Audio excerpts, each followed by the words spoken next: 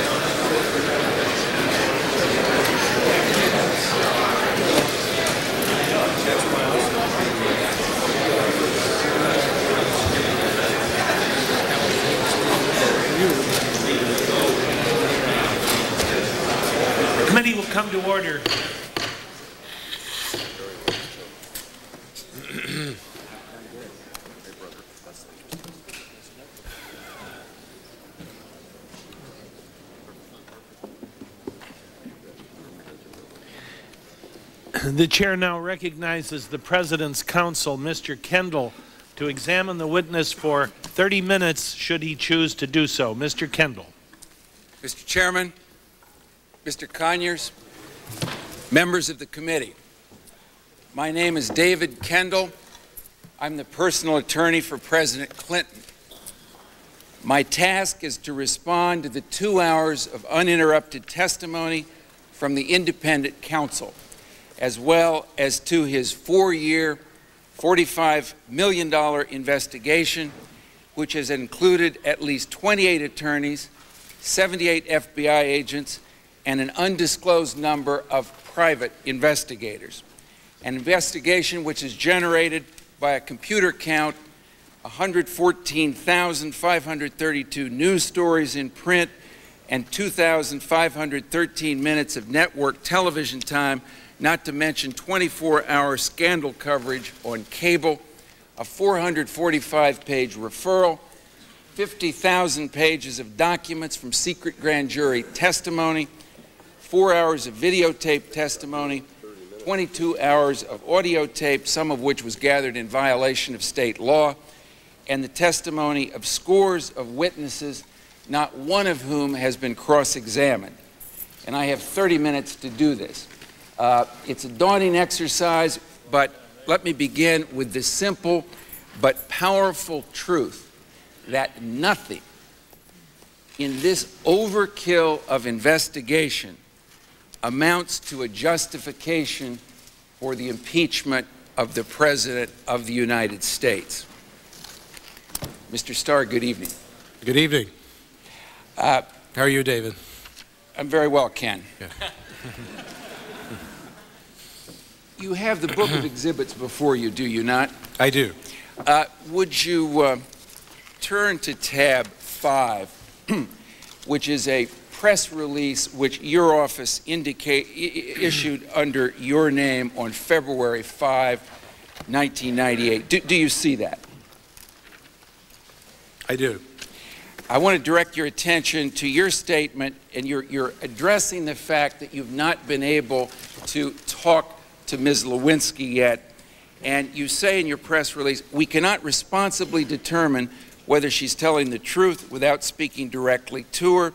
We found that there is no substitute for looking a witness in the eye, asking detailed questions, matching the answers against verifiable facts, and if appropriate, giving a polygraph test. Did you issue that press release saying that, Mr. Starr? Yes, I did. And questions have been addressed uh, to you uh, today about the credibility of various witnesses, including Ms. Lewinsky. It's true, is it not, that you were not present when Ms. Lewinsky testified before the grand jury? That is true. And you were not present at her deposition? At her deposition? Yes. Were you aware that Ms. Lewinsky was deposed? Oh, I'm sorry. In, in our deposition, yes. I'm sorry. I, I misunderstood. Yes, I was. I, I was not present. Uh, you were not present on any occasion in which she was interviewed by FBI agents, were you? That is correct. I was not. And you've never really exchanged words with Ms. Lewinsky, have you? That's correct. Uh, she. Uh, the, the answer is uh, yes. Uh, I, I have not had occasion to uh, meet or otherwise to uh, look her in the eye myself. Uh, the same is true for her mother, Marcia Lewis, is it not? Yes, that is true as, as well. Uh, th that is true. Uh, the same is true for Betty Currie. Yes. The same is true for Vernon Jordan. Well, oh, in connection, I happen to know Mr. Jordan, but yes, in connection, In with this, with this yes. case, of- though, of- were you present during his grand jury testimony? No, I was not. Uh, and were you present at any interview of him? Uh, no, I was not. Uh, would the same be true for Mr. Podesta? Uh, the answer is the same with respect to Mr. Podesta, yes. And indeed, Mr. Starr, there are 115 individual grand jury uh, transcripts which your office submitted to the House, and with the exception of the deposition of the President of the United States, you were present at none of those grand jury proceedings, were you? That is correct. Likewise, there were 19 depositions submitted, and you were, at least the reporter doesn't show you being present on any of those. Is that correct? I think that's right. Uh, there were, and I need to reflect on some of the Secret Service matters, but I think you're co- correct that I was not actually present for any of the uh, depositions themselves, including of Secret Service officers. And there are 134 FBI Form 302 interviews submitted. You're not being, you're not shown as being present at any of those, are you? That's correct. I would ordinarily not be present for uh, an interview uh, of, of a witness. Uh, Mr. Starr, I, I bring this out not to cast any aspersions uh, or to question your use of time, but you are here as and I believe you've already said this, you are not a fact witness. Is that correct? Yes, in terms, I- well, I can testify to a number of facts in the investigation. Such as your own autobiography. I mean, I'm, I'm talking about facts about this No, I- investigation. could could I, could I answer the, the, the the question?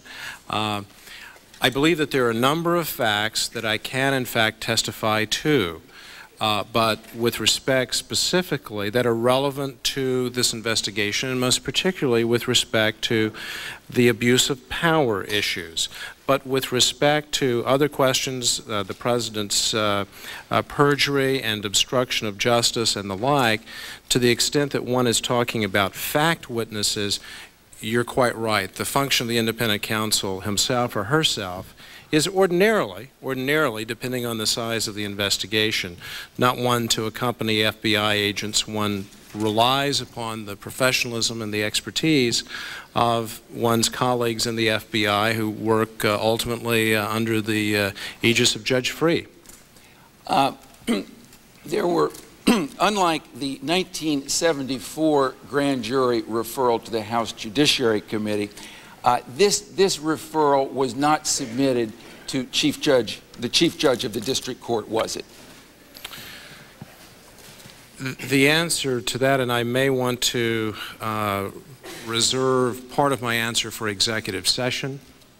Uh, let me say that we did not uh, seek uh, the approval of the Chief Judge with respect to the contents uh, of the report. Was she ever shown a copy of the referral? I would prefer to uh, go into executive session with respect to communications I may have had with uh, the district court. Uh, the grand jury uh, did not vote to approve or forward this referral. Is that correct?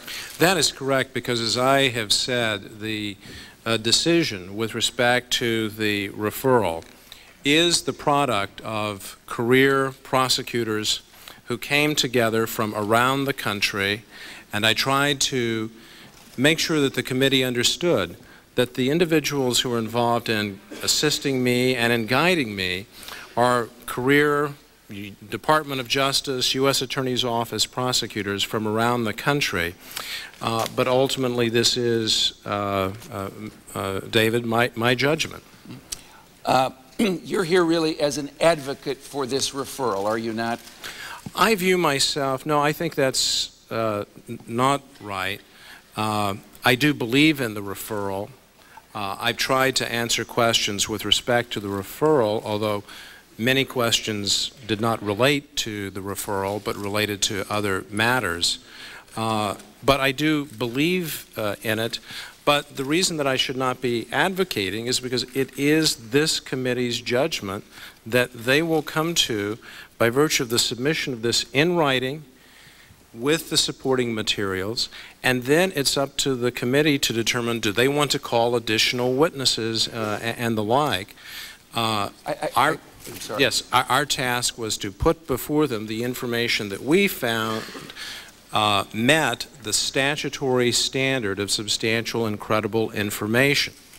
Uh, in your testimony uh, today, you indicated that you had exonerated the president with regard to the travel office, if, if I heard you correctly. Is that correct? Yes, what I indicated was that we had no uh, information that uh, uh, related to uh, his involvement, although I also made it clear that that investigation is continuing and we hope to announce decisions or actions uh, very soon. The travel office firings which you're investigating occurred in 1993, is that correct? The, yes, the firings were in 1993. Uh, also, if I heard you correctly this morning, you indicated that you had exonerated the president with respect to the FBI files matter, which had arisen in 1996. Was that correct? Yes, that jurisdiction did come to us in 1996 from the Attorney General, and yes, we have found, as I indicated, no uh, evidence of any wrongdoing uh, by uh, uh anyone who is relevant believe, at least, in my, my assessment, I can't speak for the committee, that would be relevant to the committee's assessment. Mr. Starr, when did you come to those conclusions? The travel, I would frankly have to uh, search my recollection to see exactly where we were and when we were there. As I indicated with respect to the travel office, we have in fact had to put part of the travel office uh, investigation, and I'm now talking about travel office, I'll come to the FBI files. We had to put part of the travel office investigation uh, on hold, uh, as it were, because of issues over privilege litigation, which we did not prevail in, in, in the Supreme Court. And there are other matters that we are presently examining and which I can't uh, talk about uh, talk about here. But were, were, the two exonerations you announced today, did you come to those conclusions before or after November 1, 1998? Before November 1 of, of, of this year? Well, I would say that we uh, have not had information uh, that would guide us to the view that we should be concerned about the President in respect of those two matters, and that's why, of course, there's no mention of either of those matters in the referral. But both matters were, in fact, continuing, and no final prosecutorial decisions had been made with respect to either the travel office matter or now to address the FBI files matter. With respect to that, uh, there uh, is, as I've indicated, an unresolved question with respect to one individual. I've not named that individual. But I do not have any, it remains unresolved. And so it's a predictive judgment, Mr. Kendall, that nothing that we're likely to achieve in either of those investigations will be relevant to this committee's inquiry. And that's what I view my duty as and, being. And today was the first time you've announced that with respect to these two matters, is it not, Mr. Starr?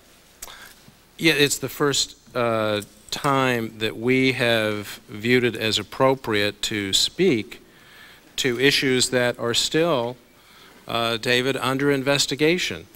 We are still investigating both matters, and I, and I hope I've made that point clear. Both investigations have very live, active elements to them, and we will make those decisions promptly. But I felt it was my duty to inform this committee of the state of the record with respect to the President of the United States because the committee has been asking me, do you have any other information that is relevant? I've received a lot of correspondence. And yep. Mr. Conyers has... Uh, Mr. Starr, I have only 30 minutes, if I could. I think you've ad adequately answered my question. Let me return to a question asked by Congressman Wexler this afternoon, and that was about a witness named Julie Hiatt Steele. Uh, have your investigators investigated the adoption of her eight-year-old child uh, she adopted from a Romanian orphanage? Mr. Kendall, my investigators work very hard and diligently to find relevant evidence. I believe that the questions, and I've conducted no specific investigation, and you just spent a good deal of time establishing that I don't go with my FBI agents on every single interview. Indeed, I don't go with, may I finish? You asked the question. Mm -hmm. I don't go with them on interviews. They have a fair amount of discretion as professionals as to what is appropriate to inquire into, but let me simply say this. There is an enormous amount of misinformation and false information that is being bantied about with respect to that particular witness and the circumstances of questioning. And I will look forward at the appropriate time to be able to demonstrate that to any fair-minded person beyond any reasonable doubt. Mr. Starr, I'm asking the question for the fact. I, am not casting aspersions again. But it's Mr. Kendall, you just said you were not present for the following persons, Ms. Lewinsky, Marcia Lewis, and Vernon Jordan, and you're now asking me, did FBI interviews, and you talked about how many witnesses there were, and now you're asking me specifically, was a specific question asked? Uh, of, of, a particular witness. I will be happy to find that out if it seems to be relevant to this committee. Mr. Starr, I don't think it's unfair to try and find out the fact because there is, there's been considerable publicity uh, about Ms. Steele's claim that that is in fact what your investigators have been doing. I was simply asking to clarify the record. Well, in, res in respect of some of her claims, some of her claims, and I'm going to say this even though there is an, an active part of our investigation underway, utterly without merit and utterly without foundation, utterly without factual foundation. Is, is this one of those claims? No, I did not say that, Mr. Kendall. I am aware. I am aware of certain. the, the specific question that you asked goes to whether one or a series of questions were asked, asked of one witness. And my point is, I thought that what we were here today to discuss is a referral which we believe contains substantial and credible information of potential impeachable offenses by the President of the United States. What a particular witness's demeanor was or what a particular FBI agent asked is, to my mind, quite far removed from the sober and serious uh, purposes that I thought brought us here together. And the final thing that I would say in this respect if there is an issue with respect to the way a witness is treated, that's why courts sit. I was privileged to serve as a judge. That's why judges work.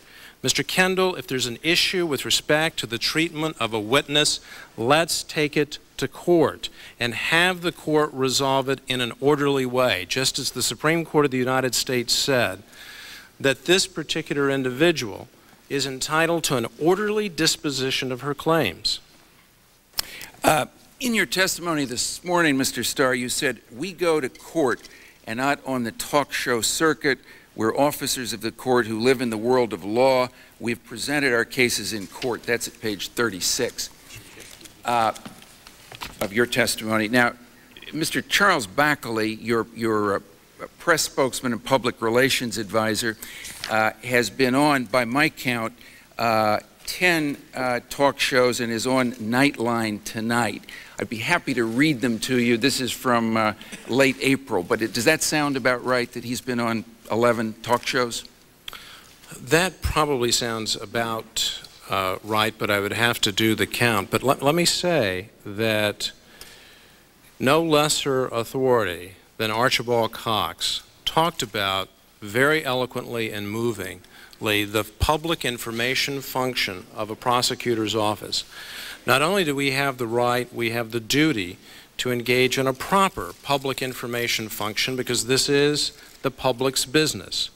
We must do so in order at times to combat misinformation that is being spread about, including frequently by lawyers who claim that their clients have been grossly mistreated, which is what criminal defense lawyers are paid to do. Uh, Mr. Starr, I take it there would be no disagreement that you, as a United States prosecutor, are under a legal obligation to protect the secrecy of the grand jury process. Yes, that, uh, there's no dispute whatsoever. No dispute. In, indeed, if you turn to tab 17 of the materials, you wrote me a letter on February 6, 1998. And if I could direct your attention to the second paragraph of that letter, I had complained about leaks of grand jury information. Uh, you had replied, from the beginning, I have made the prohibition of leaks a principal priority of the office. It is a firing offense, as well as one that leads to criminal prosecution. In the, in the, you say also that you've reminded the staff that leaks are utterly intolerable. Am I reading that correctly? Yeah, yes, you are reading it correctly. And has anybody been fired from your office, Mr. Starr, for leaking? No. Uh, because I don't believe anyone has leaked grand jury information, Mr. Kendall. On the day this story broke in the press, which was Wednesday, January 21, uh, you issued a press release. Do you recall that press release? Could you say that again? On January? Yes, it's on January the 21st, the day the Washington Post story ran, you issued a press release about your information policy. Do you have that here? Yes, I do. Let me direct your attention to 27. 27. And also, we have a blowup of, of this press release on the easel.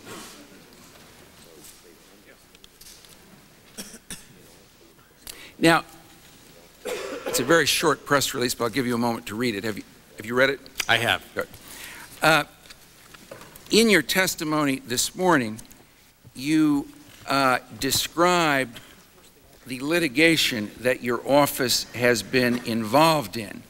Uh, at page 36, you said you've faced an extraordinary number uh, of legal disputes on issues of privilege, jurisdiction, substantive criminal law, and the like.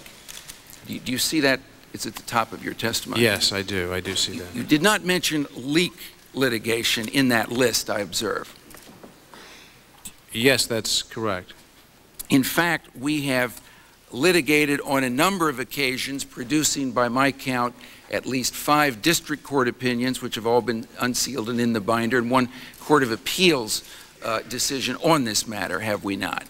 Yes, and in fact, uh, with respect to that, uh, and, and we did, uh, Mr. Kendall, and I think you will agree, uh, that we prevailed in the Court of Appeals with respect to the issue that you're talking about. And I want to be careful about what I say because I have found that some lawyers are very quick to suggest that certain comments made by prosecutors may run afoul of, of confidentiality requirements. I think I can say this. The D.C. Circuit unanimously concluded that the procedures that you had urged were entirely inappropriate, improper, unauthorized by law, and that there had to be an orderly process that was protective of very vital interests. That was unanimous opinion by the D.C. Circuit, overturning a process that you had urged upon the district court in your effort to find out as much information inside the prosecutor's office as you possibly could. So that is, I hadn't even thought of that as one of the 17, but you're absolutely right. That is part of our litigation record, and we are now in the process, as you well know, of additional litigation. And I think that judgment should be withheld. Judgment should be withheld with respect to this question until such time as there is a judgment, an ultimate judgment in this case, because I am confident that we have abided by our obligations. I'm confident of that. I take it you would agree with Chief Judge Johnson that enforcing Rule 6E, which enforces grand jury secrecy, is of the utmost integrity to the grand jury process? Yes. Uh, Chief Judge Johnson uh, has made it abundantly clear, and I agree with that, that the values of confidentiality of matters occurring before the grand jury is very important. And she has also ruled, has she not, that due to the serious and repetitive prima facie violations of Rule 6E, a thorough investigation is necessary and is now being conducted. This, let me direct your attention to, is, in, is at tab 24, and that's her opinion, which was just unsealed. Tab 24. Tab 24, page 20. yes, this is the October 30 and then the redacted uh, version. And there, pardon me, and I think this is fundamental fairness requires this body to know that the law of this circuit permitted Mr. Kendall to say, here are articles, look at the sourcing, we get to ask the prosecutor to come forward and to show that the prosecutor is not the source of this grand jury or, or this information. And that's the process that's underway now. We're at phase two. But the law of this circuit, under the, the Barry case with which you're intimately familiar, is essentially a hair trigger. All it takes is a letter from Mr. Kendall saying, here's an article with ambiguous sourcing. I believe it may relate to the grand jury matters and a prima facie case, as is said in the law, may be established. And in this district, and I think this is a major issue for the administration of justice. In high profile cases, Congressman Rostenkowski, Mayor Barry, again and again, the criminal defense bar of this jurisdiction is rushing into court and saying there are grand jury leaks. Mr. Starr, I don't mean to interrupt you, but I've only sorry. got 30 minutes. Yes, I'm sorry. Uh, in fact, Judge Johnson had before her 24 submissions from us as to what might be leaks from the independent counsel's office, did she not? And we're in the process of litigating those, And how many you know. did she find there was prima facie reason to believe that your office had committed these leaks? And I think you know the answer to that under the hair trigger Barry standard, where almost anything will satisfy, and the D.C. Circuit noted that. You, you cited the D.C. Circuit's opinion. The D.C. Circuit's opinion makes it very clear, as you know, David, that the burden on the moving party is quite limited. That's not a quote, but that's the idea. It's a very limited I burden think the answer to my question was all 24. And are you saying that the journalists invented sources like prosecutors painted a different picture, sources in Starr's office tell us, uh, sources near Starr, prosecutors suggest, is- does the media make up those quotes, Mr. Starr? I'm not here to accuse the media of anything. I am here to say that fairness requires us to be able to litigate this matter, which, as you well know, is under seal, and to litigate that in an orderly way, and then to come to a judgment as to the significance of that. But I will simply say that the law of this circuit makes it quite easy for you to say, look at this sourcing, I get to now put the burden on the prosecutor to come forward and show evidence that the prosecutor is not the source. Mr. And, Starr, and David, that's what we're doing. Mr. Starr, in fact, there has been no case remotely similar to this in terms of the massive leaking from the prosecutor's office, and I think we know I that. totally disagree with that. That's an accusation, and it's an unfair accusation. I completely reject it, and I would say, David, let's wait until the litigation has concluded. You're asking to, and especially with the rules being what they are on a prima facie case, you're asking, let's now come to judgment after about 10 minutes of the, f- of of the first half. That's not fair. Uh, May I direct your attention now to the uh, exhibit that we have displayed up there? It's 27. This is, I'm sorry, number 27? Yes, it's, it's your press release on the first day of uh, the Lewinsky story breaking. Uh, It's a press release on the letterhead of the independent counsel's office. We secured it from your office through a Freedom of Information Act request.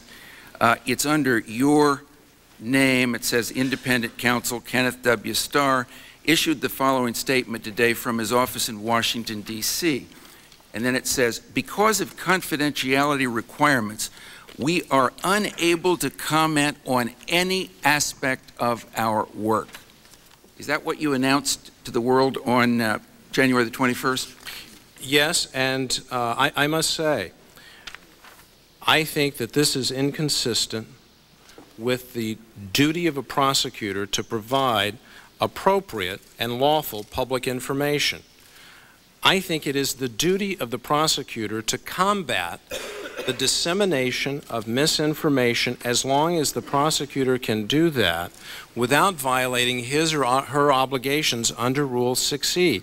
And that's the position, David, as you know, of the Justice Department. The Uh, Did you issue any press release admitting that you were uh, uh, talking about aspects of your uh, investigation? I'm sorry, could you say that again? After the press release, which you now said, and I've forgotten your exact phrase, what was it, that you would not have issued it now? Well, no, I, Does I- it I'm- depend I'm- on what you mean by comment?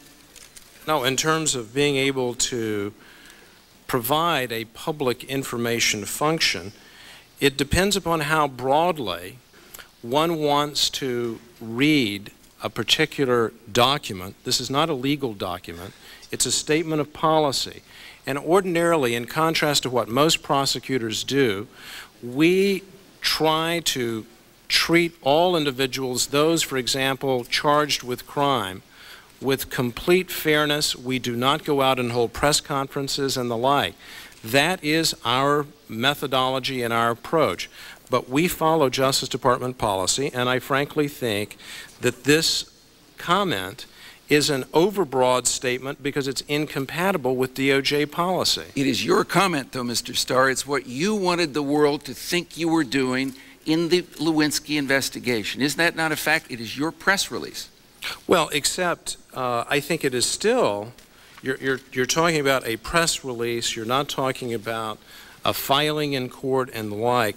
And what we were in fact doing virtually contemporaneously with this, was issuing, it, it- it may not have been contemporaneously, and perhaps you'll guide me to that, but we were being accused, and we've heard it all day long today about the events at the Ritz-Carlton, and I felt duty-bound to provide public information that I thought was appropriate about the conditions that Ms. Lewinsky found herself in, and that the, the character assassination by her then attorneys, no longer her, or at least one is no longer her attorneys, Mr. was Mr. absolutely Kendall, wrong. Your, uh, your time is up. You may want to get into the facts, so do you need Uh, I- additional I, time? I think I, I would like additional time.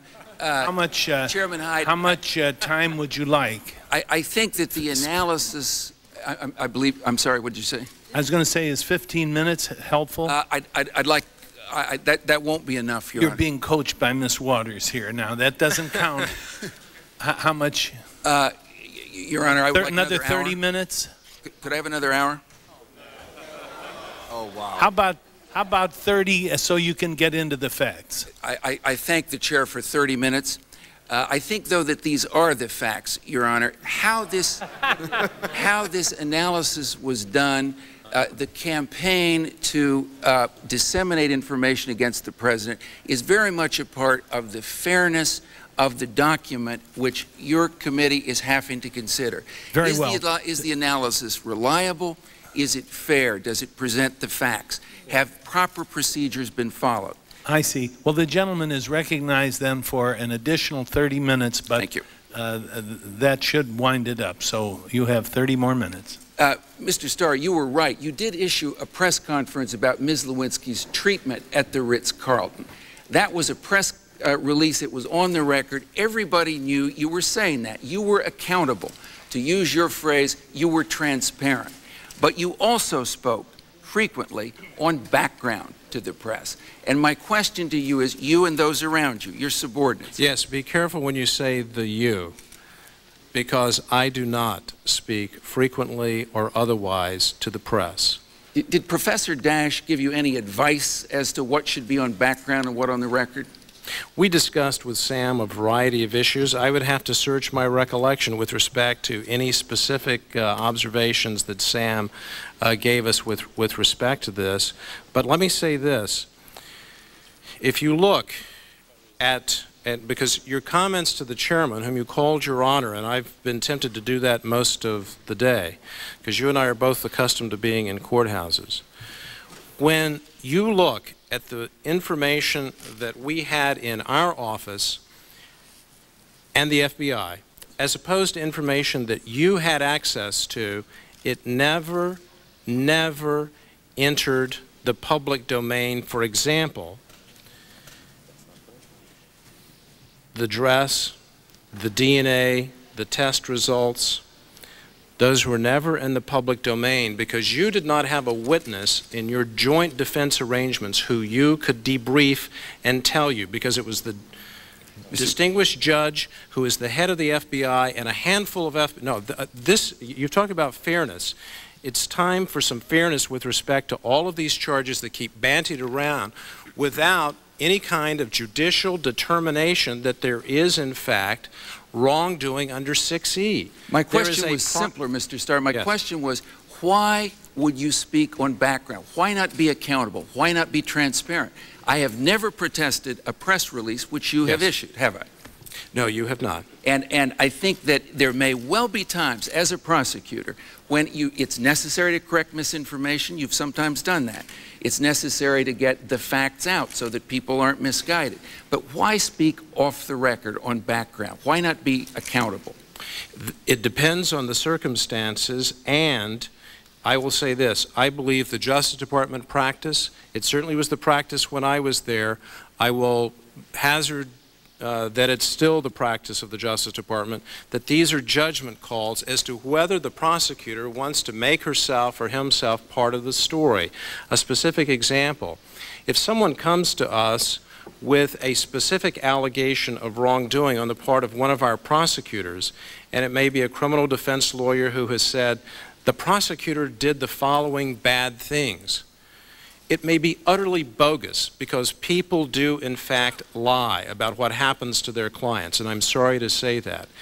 We do not want to, in any way, be part of a story as to whether, and obviously we can't talk about matters occurring before the grand jury, but we can, in fact, respond to a suggestion that the FBI in some way or a prosecutor in some way conducted herself or himself improperly. But it is quite wise to say. Then why not well, say it on the record? What, what, why the secrecy? Be- because, and you're asking essentially press policy is opposed to constitutional issues that have brought us all here, and if this is an oversight hearing with respect to the press policy of the independent counsel's office, or if that's what the president's lawyer wants to spend his time doing, then that is your prerogative. So let me tell you then what our press policy is. Well, Mr. Mr. Starr, I've only got 30 minutes. Uh, I've asked you, I, think, a simple question, but, but let me move on. You yourself executed an affidavit in the leaks investigation, did you not? David, this matter is in litigation, and Mr. Chairman, as a matter of fairness, I have to be careful about what I say because he may tell me that it's not under, it's just not right to be in litigation under seal before the district court and to be cross-examined by the president's attorney with respect to that matter which seems to have no germaneness whatever. Mr. Starr, I, think was going to ask you about an affidavit, a sworn declaration, which you yourself executed, which is not under seal, uh, in, in, in the leaks proceeding. But I will move on if this, uh, if this, uh, if this is not something you want to respond to. Well, David, I just think if you're talking about the leaks litigation, that's the point. It is in litigation. Why don't we allow that litigation to go forward instead of individuals, members of Congress who talk about fairness, jumping to the conclusion that there has been a violation when there's been no adjudication of anything beyond the existence under the law of this circuit of a prima facie case. That is unfair. It's unfair to my career prosecutors. It's unfair to investigators. It's wrong. And just to finish the point, when we had highly sensitive information that Mr. Kendall did not have, the DNA on the dress that was held within our office and the FBI, there was no dissemination of that information. But what happens is Mr. Kendall and others interview witnesses and any criminal defense lawyer, and if you see fit to inquire into the joint defense arrangement in existence here, I would be grateful. And I know you want to move forward with these proceedings. But the joint defense arrangement that has been uh, in effect in this operation is a very significant aspect of the very issues that Mr. Kendall is now raising before this committee. Because one of the issues in Mr. 6E... Starr, excuse me, could I direct your attention to tab 15? I, I think you've answered the question, and I, I, I would like to move on. I am running against the clock. Uh, I, I'm sorry, Mr. Kendall, I've been here since 10 o'clock, so forgive me. I know, and it, and it, it uh, I, I will, I will move on. Uh, Carol Bruce, Ms. Carol Bruce, was appointed uh, independent counsel to investigate the uh, Indian gambling casino matter, was she not? Yes, the uh, Secretary Babbitt matters, Right. yes. Are, are, are you aware of her press policy? no, I'm not. Uh, it's, it's indicated there at tab 15 that she held a press conference when she was appointed and then said she did not anticipate making any further public comments until the investigation is completed. Uh, you mentioned the experience of Miss Lewinsky uh, at the Ritz-Carlton on Friday, uh, January the 16th, 1998. Uh, one of the reasons you, your agents, uh, held Ms. Lewinsky was that they That wanted. is, I, I, I have to interrupt, that is, the, that right, I was not meaning false. to be offensive. Let, let me, let me rephrase. That is false, and you know it to be false. Well, I'll rephrase the question. She Mr. was not held. Uh, she, her own psychological state will speak for itself uh, as to how she felt. It's in the record in her testimony. You That- said she was held. You didn't say how she felt. You said she was held, and I think that's unfair to our investigators. I and this issue has been litigated, David, as you well know, with respect to the constitutional rights of, of, of the individual involved. Excuse me. during her sojourn with your agents, Well, the Ritz-Carlton is a very pleasant place to have a sojourn. Was to get Ms. Lewinsky to wear a recording device and surreptitiously record Mr. Jordan or the president, was it not? It was not. And I know that there is testimony and this has been referred to, but let me explain. She was asked and given the opportunity, which she turned down, to be a cooperating witness. And we explained to her, we did not invent this. This is all traditional prosecutorial activity and techniques. And we said one of the things that a cooperating witness can do is to assist us in consensual monitoring. We described that at a high level of generality is my understanding, and I believe my prosecutors, in fact, conducted themselves consistently with what I have just told you. Uh, Could you turn to tab seven, and could we have... I'm uh, sorry, tab seven? Yes, tab seven of the binder. Uh, You may have read the Time Magazine essay, essay, excuse me, by Messrs. Ginsburg and Speights, in which they state the following. The government didn't just want our client to tell her story, they wanted her wired, they wanted her to record telephone calls with the President of the United States, Vernon Jordan, and others at their will. You're familiar with Mr. Ginsburg's charge. Mr. Ginsburg is wrong, and he must know that he is wrong. He was wrong then, and it is a calumny to repeat that now. Mr. Ginsburg was not known for his consistency of articulating positions. nor, was he, nor was he known for his consistency in dealing with facts. I would say that he was rather fast and loose with the facts, and if you are going to rely in this proceeding on a Time magazine essay by Bill Ginsburg, then I think the standards are not quite as lofty as I thought they would be this evening. Mr. Starr, what is an FBI 302 form? An FBI 302 form is a report of uh, interview by uh, FBI agents uh, with a witness. Now, you categorically denied wanting to have Ms. Lewinsky wear a wire or secretly tape record the President or Mr. Jordan when the charge was made in the Time article, did you not? You categorically denied that. Are you saying at the time of this Time article? At the time of that Time article, you denied Mr. Ginsburg's charge, did you not? I believe that we did, but I'm just not recalling specifically Uh, how you, we did you it. certainly Dan. denied it, and there was a We've had a number of charges, so you'll have to remind me of where my All right, let, let, let me direct you to tab 12 in the uh, volume. And this is the later, your later editor, uh, your later letter to Steve Brill. We're displaying the page there, and it's, um, it's page seven. You don't have to read your entire letter. Okay, page seven. Yes, do you see um, where, where the, it's indented six? It's tab 12, page 7 of the exhibit, your own letter. You say, this is false. This office never asked Ms. Lewinsky to agree to wire herself for a conversation with Mr. Jordan or the President.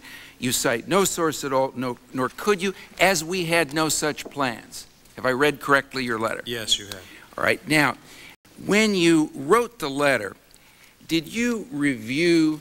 You, you were not present at the Ritz Carlton, were you? No, I was not. Uh, did you review with Mr. Emmick, for example, what had happened there?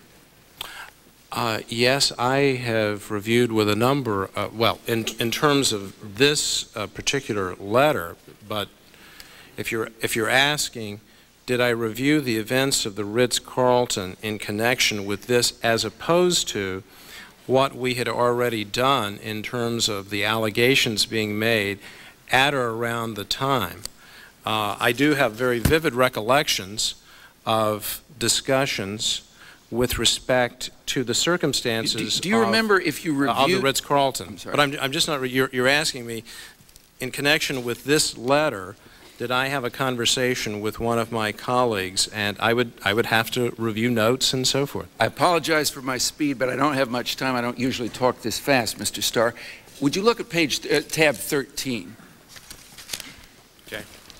Now, tab 13 is the FBI 302 form describing That's not Mr. Ginsburg or Mr. Speights, is it? That's one of your own agents.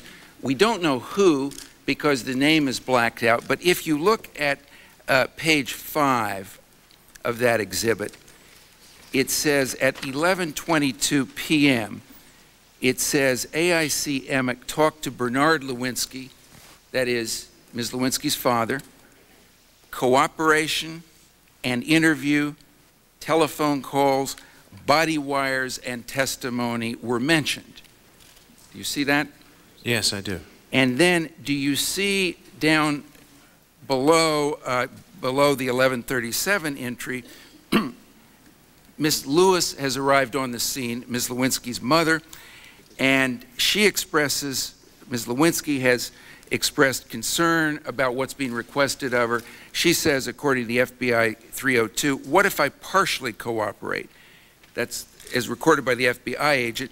Marcia Lewis asked what would happen if Monica Lewinsky gave everything but did not tape anything. Do you see that? Yes, I do. Uh, it was in the grand jury that the events of Friday, January the 16th, uh, were presented through the testimony of, of Ms. Lewinsky. Was it not? Was it her second appearance? Yes, I believe that's right. And do you remember, and this is, if, do you have the appendices to your uh, volume? I, I, can, I can get them. Uh, I, I don't think we'll need to because this is a famous uh, passage. Uh, the, the grand jurors, the, your prosecutors had no more questions, and uh, the grand jurors themselves began to inquire about the events that day. Uh, one of them said at page 1143, We want to know about that day. We really want to know about that day. And this elicited then from Ms. Lewinsky, who was under oath, uh, a tearful description of what had happened to her. She asked Mr. Emmick to leave the room, did she not? Uh, that's my recollection of the transcript, yes. And in fact, she said that uh, she was uh, told on Friday, uh, January the 16th, by your agents that she'd have to place calls or wear a wire to see, to call Betty and Mr. Jordan and possibly the president. Question, and did you tell them you didn't want to do that? Yes. Is that, was that Ms. Lewinsky's testimony? yes, that is her testimony.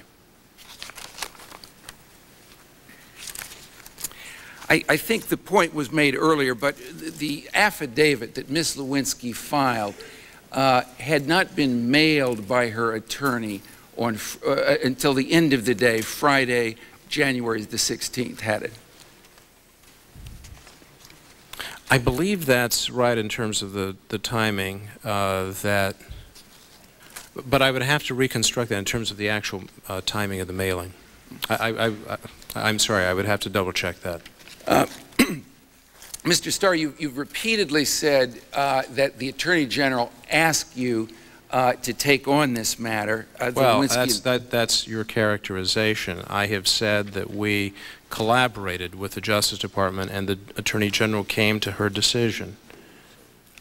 We Uh, brought it to her attention. We did say that we thought that the steps that we'd taken had been within our jurisdiction, but we were concerned about whether any additional step could be taken properly within our jurisdiction, and, and that's how the discussions uh, began. In fact, you requested that the matter be referred to you, did you not? At uh, some point during the uh, discussion, we, in our own deliberations, we came to the view that we felt that because of the involvement, and I'll be very specific here, of Vernon Jordan, that this was related to our existing jurisdiction. The Attorney General disagreed with that, uh, but that was our view. Here was Linda Tripp, who was a witness in the travel office matter, in the Vincent Foster documents matter, and, and the Vincent Foster death matter, and she had come to us with information. And so we felt very comfortable. A- And she said, I'm being asked to commit crimes. I'm being asked to commit perjury. But- We felt comfortable that we were within our jurisdiction at that, at that juncture, but we did feel that there was a jurisdictional issue from that point forward, which we worked on collaboratively with the Justice Department. But we did, in fact, send a letter indicating that we felt that this uh, was related to our jurisdiction, But I hasten to note that the Attorney General disagreed with that and said, no, it's not related to your existing jurisdiction, but we think your office should investigate it. We can't because the President is implicated. In her transmission to the Special Division, uh, the Attorney General stated, independent counsel Starr has requested that this matter be referred to him. Is that not the, case? Well, you'll have to refer me. What, where, I'm sorry, I don't have that Okay. in your binder. Yes, well, uh, I will uh, represent David, I- to you yes, uh, I, I, I, sentence in her. I, I'm certainly going to accede to your representation, uh, and it and it certainly is true, as I just indicated, that we did in fact send a written submission indicating that we felt that this was related to our jurisdiction. The Attorney General felt we should have jurisdiction, but disagreed that under the statute it should be an expansion of our existing jurisdiction. Mr. Starr, when did you first learn, you yourself, that there might be an audio tape uh, with a conversation involving the President and a young woman? Uh, The young woman. Uh, a young woman. I'm sorry? A young woman. Oh, I think we've had questions about that, and I, I, have, I have been asked that, and, I, and I'm searching my recollection, but let me say this. If you're talking about Monica Lewinsky, and I don't know that you are, you didn't use her name, but the first I knew, to the best of my knowledge and recollection of Monica Lewinsky, was in January of 1998. Now, I had questions, and they seem to me to suggest that there is some information with respect to information that may have come to me in November of 1997 with respect to tapes, and it was all very vague and enshrouded in mystery.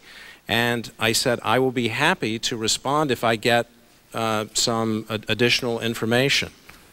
Uh, with respect to Monica Lewinsky, which I assume is what we're here to talk about, I did not know anything about Monica Lewinsky to the best of my uh, in, uh, recollection. I don't think I ever had occasion to meet her or otherwise hear about her until January of 1998. Were, were you aware of how uh, Ms. Tripp uh, came to uh, communicate with your office in January of 1998? I was told, I'll be very specific, and I can be very brief. I was at an American Bar Association Journal Board of uh, Editors meeting when the initial contact was made with one of the uh, associate independent counsels. I do not believe in that, and that was on January 8th, and I do not believe in that contact. Linda Tripp's name was mentioned. That information was brought back to Washington.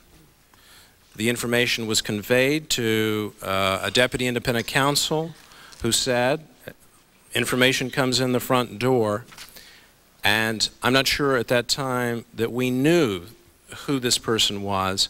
We were then called on January 12th by Linda Tripp. That was a telephone call, and I was made aware of the telephone call promptly thereafter. And that's when uh, it was brought to my attention uh, that there was information that we would proceed to, uh, to, to act on. Were you aware that your partner, Richard Porter, had played a role in steering Ms. Tripp to your office? Uh, I know Richard. Uh, I am not uh, uh, aware of what his role was. I have since read about what his role was, but I did not in any way have any involvement whatsoever or participation in in any way with whatever he did. And, and I've not conducted an investigation. Uh, there may be facts of which I am unaware that I should be aware in terms of before I formulated a complete, uh, a complete response. Uh, Could you turn to tab two, Mr. Starr? It's a provision of the independent counsel statute.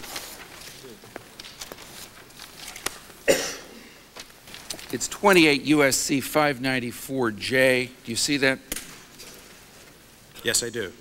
Uh, And, and that, you've, you've made the point that you, you kept your law practice as you were legally entitled to do. Uh, you made, I think, over a million dollars each year for the last four from that law practice, again, as you were legally entitled to do. But in, in exchange for allowing uh, private counsel to serve part-time as independent counsel, the Ethics in Government Act enforced a very strict conflict of interest rule, did it not? And that's Yes, it's very, it's very specific, yes. And that says that any independent counsel cannot have any person associated with a firm, not just a partner, uh, represent in any matter any person involved in any investigation or prosecution under this chapter. Is that correct? I believe that's right. I would have to reread it, but I'm going to simply accept uh, uh, your, your representation, but, I- but I think that is correct. Uh, Can I call your attention to Exhibit 4, which is uh, another 302 interview for- form? Uh, And that's for Ms. Lucianne Goldberg. Uh, It's at tab 4.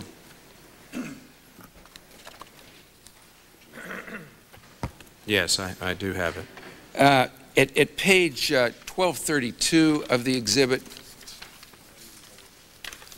do you see that one of your agents is describing why Linda Tripp is nervous? And, and where, where, I'm sorry, I it's- have not it's- read it's- this it's 302. 12 It's 1232. Yes, I- I- I'm there, but what paragraph? All right, it's the paragraph that begins, uh, "In the meantime, because Tripp." I- It's not on my page 1232. I beg your pardon, it's 1231. Okay, I'm sorry. All right. Uh, Goldberg called around to friends she has, including one in Chicago who works at the same firm Ken Starr does. This person recommended Goldberg to call Jackie Bennett at the OIC. Goldberg advised that the OIC knew who this person is and that this person is very nervous at this time. Uh, did you ever have any reports from any source that some uh, person at your law firm had expressed nervousness about this contact with Linda Tripp? Uh, You're talking about at any time? and Any time. Well, you- you've just brought this to my uh, attention. Um, But uh, I am, I do not, uh, no, I don't have a a recollection of something being brought, you're talking about to my attention? Did, did Yeah. you Oh, no. did you cause any check to be made at any time before you sought jurisdiction in the Lewinsky matter as to whether any person in your law firm had any kind of an association with the Paula Jones case? No, I did not.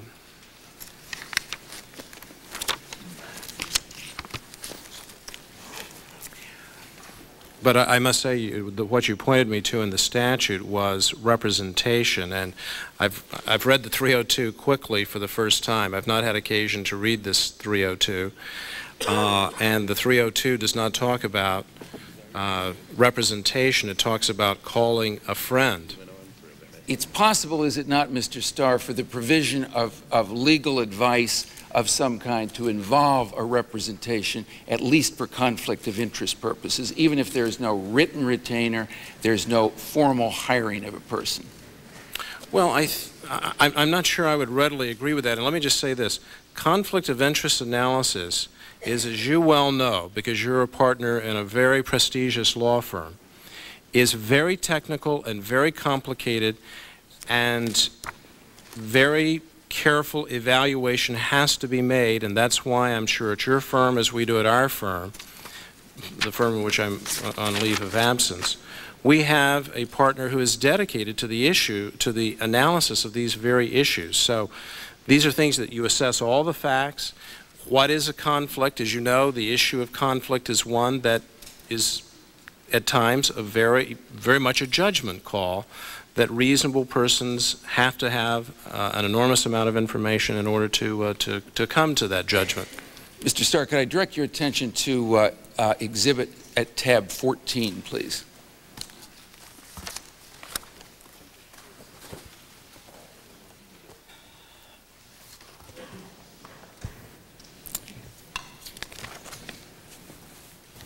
Do you have that exhibit? Yes, I do. That is a Washington Post article from June of 1997 uh, indicating that your investigators are now probing uh, rumors uh, about the president, is it not? It is an article about that subject, yes. and indicating that state troopers, uh, two who are named and quoted, Ronnie Anderson and Roger Perry, uh, are being interviewed about rumors of affairs that the president had while he was governor uh, of Arkansas. Is that correct? That's what the story is about. Uh, your But whether the story reflects the facts is obviously a different matter. Uh, Did you cause any investigation to be done as to whether, in fact, your investigators were asking uh, witnesses about a list of 12 to 15 women by name, including Paula Corbin Jones?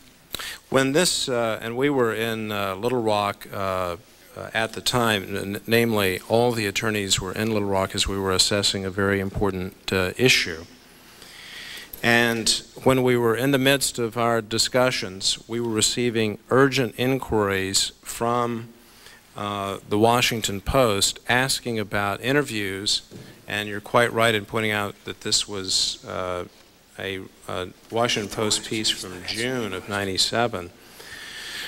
They were talking about interviews that had been conducted in February, so it was old news. Uh, and we did then inquire, in light of this, we then did make inquiries internally of the, of the FBI, because these are professional agents, and we said, what kinds of questions are being asked? What is the purpose? And the purpose of the investigation was, as we were moving forward in the Little Rock phase of our investigation, we wanted to make sure, as investigators should do and as prosecutors should do, that we had reached out and interviewed anyone who might have relevant uh, information. And that's what we were doing. We were, in And the fact, talk- relevance of this, inter- did you go to the Attorney General and seek an expansion of your jurisdiction to accompany this particular investigation? Uh, um, I guess I wasn't uh, clear. This was the Whitewater phase of our investigation that is referenced here in the post. We're talking about Little Rock. We're not talking about activity in Washington. And we were, in fact, uh, interviewing, as good prosecutors, good investigators do, uh, individuals who would have information that may be relevant to our inquiry about the president's involvement in Whitewater, in Madison Guaranty Savings and Loan, and the like, and specifically a loan from Madison Guaranty that we had information on in which we were not able to secure as much information as we would like given the records at the bank and given Susan McDougal's a uh, lack of cooperation.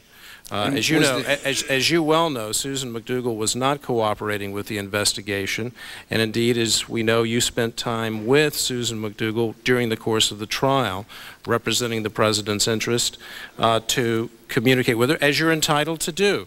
We're also entitled, just as you're entitled to reach out to your fellow criminal defense lawyers, we're entitled to reach out to witnesses who may have relevant information. Did you use private investigators to do this uh, uh, investigation into the uh, 12 to 15 women? I beg your pardon, private investigators? Yes. Your GAO report uh, for Oh, the I- last sorry. three times has an, an, uh, a line item of approximately, it- it varies, but it's about half a million dollars for, among other things, private investigators. Uh, no, we have never hired Terry Lenzner, David. What, what, what, But what is that what- private but- investigative but expense? But what we do do is we do hire retired FBI agents. And those are, you know, I'll have to look at the, you're, you're talking about an audit report, and if you want to guide me to the audit report, that's fine. Well, the But chair, the chair's got to intervene. The hour is uh, over uh, quite a little bit.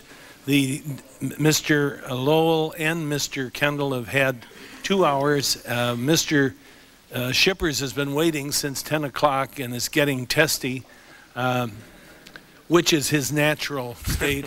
Uh, but, but uh, M- Mr. Kendall, you will have an opportunity, a further opportunity to present uh, and, and address the committee at length, in extenso, as you lawyers say, uh, and uh, offer whatever evidence, exculpatory or otherwise, you want. You, you'll have a full opportunity before we go to any markup, if we go to a markup. So, uh, really, it's a long day.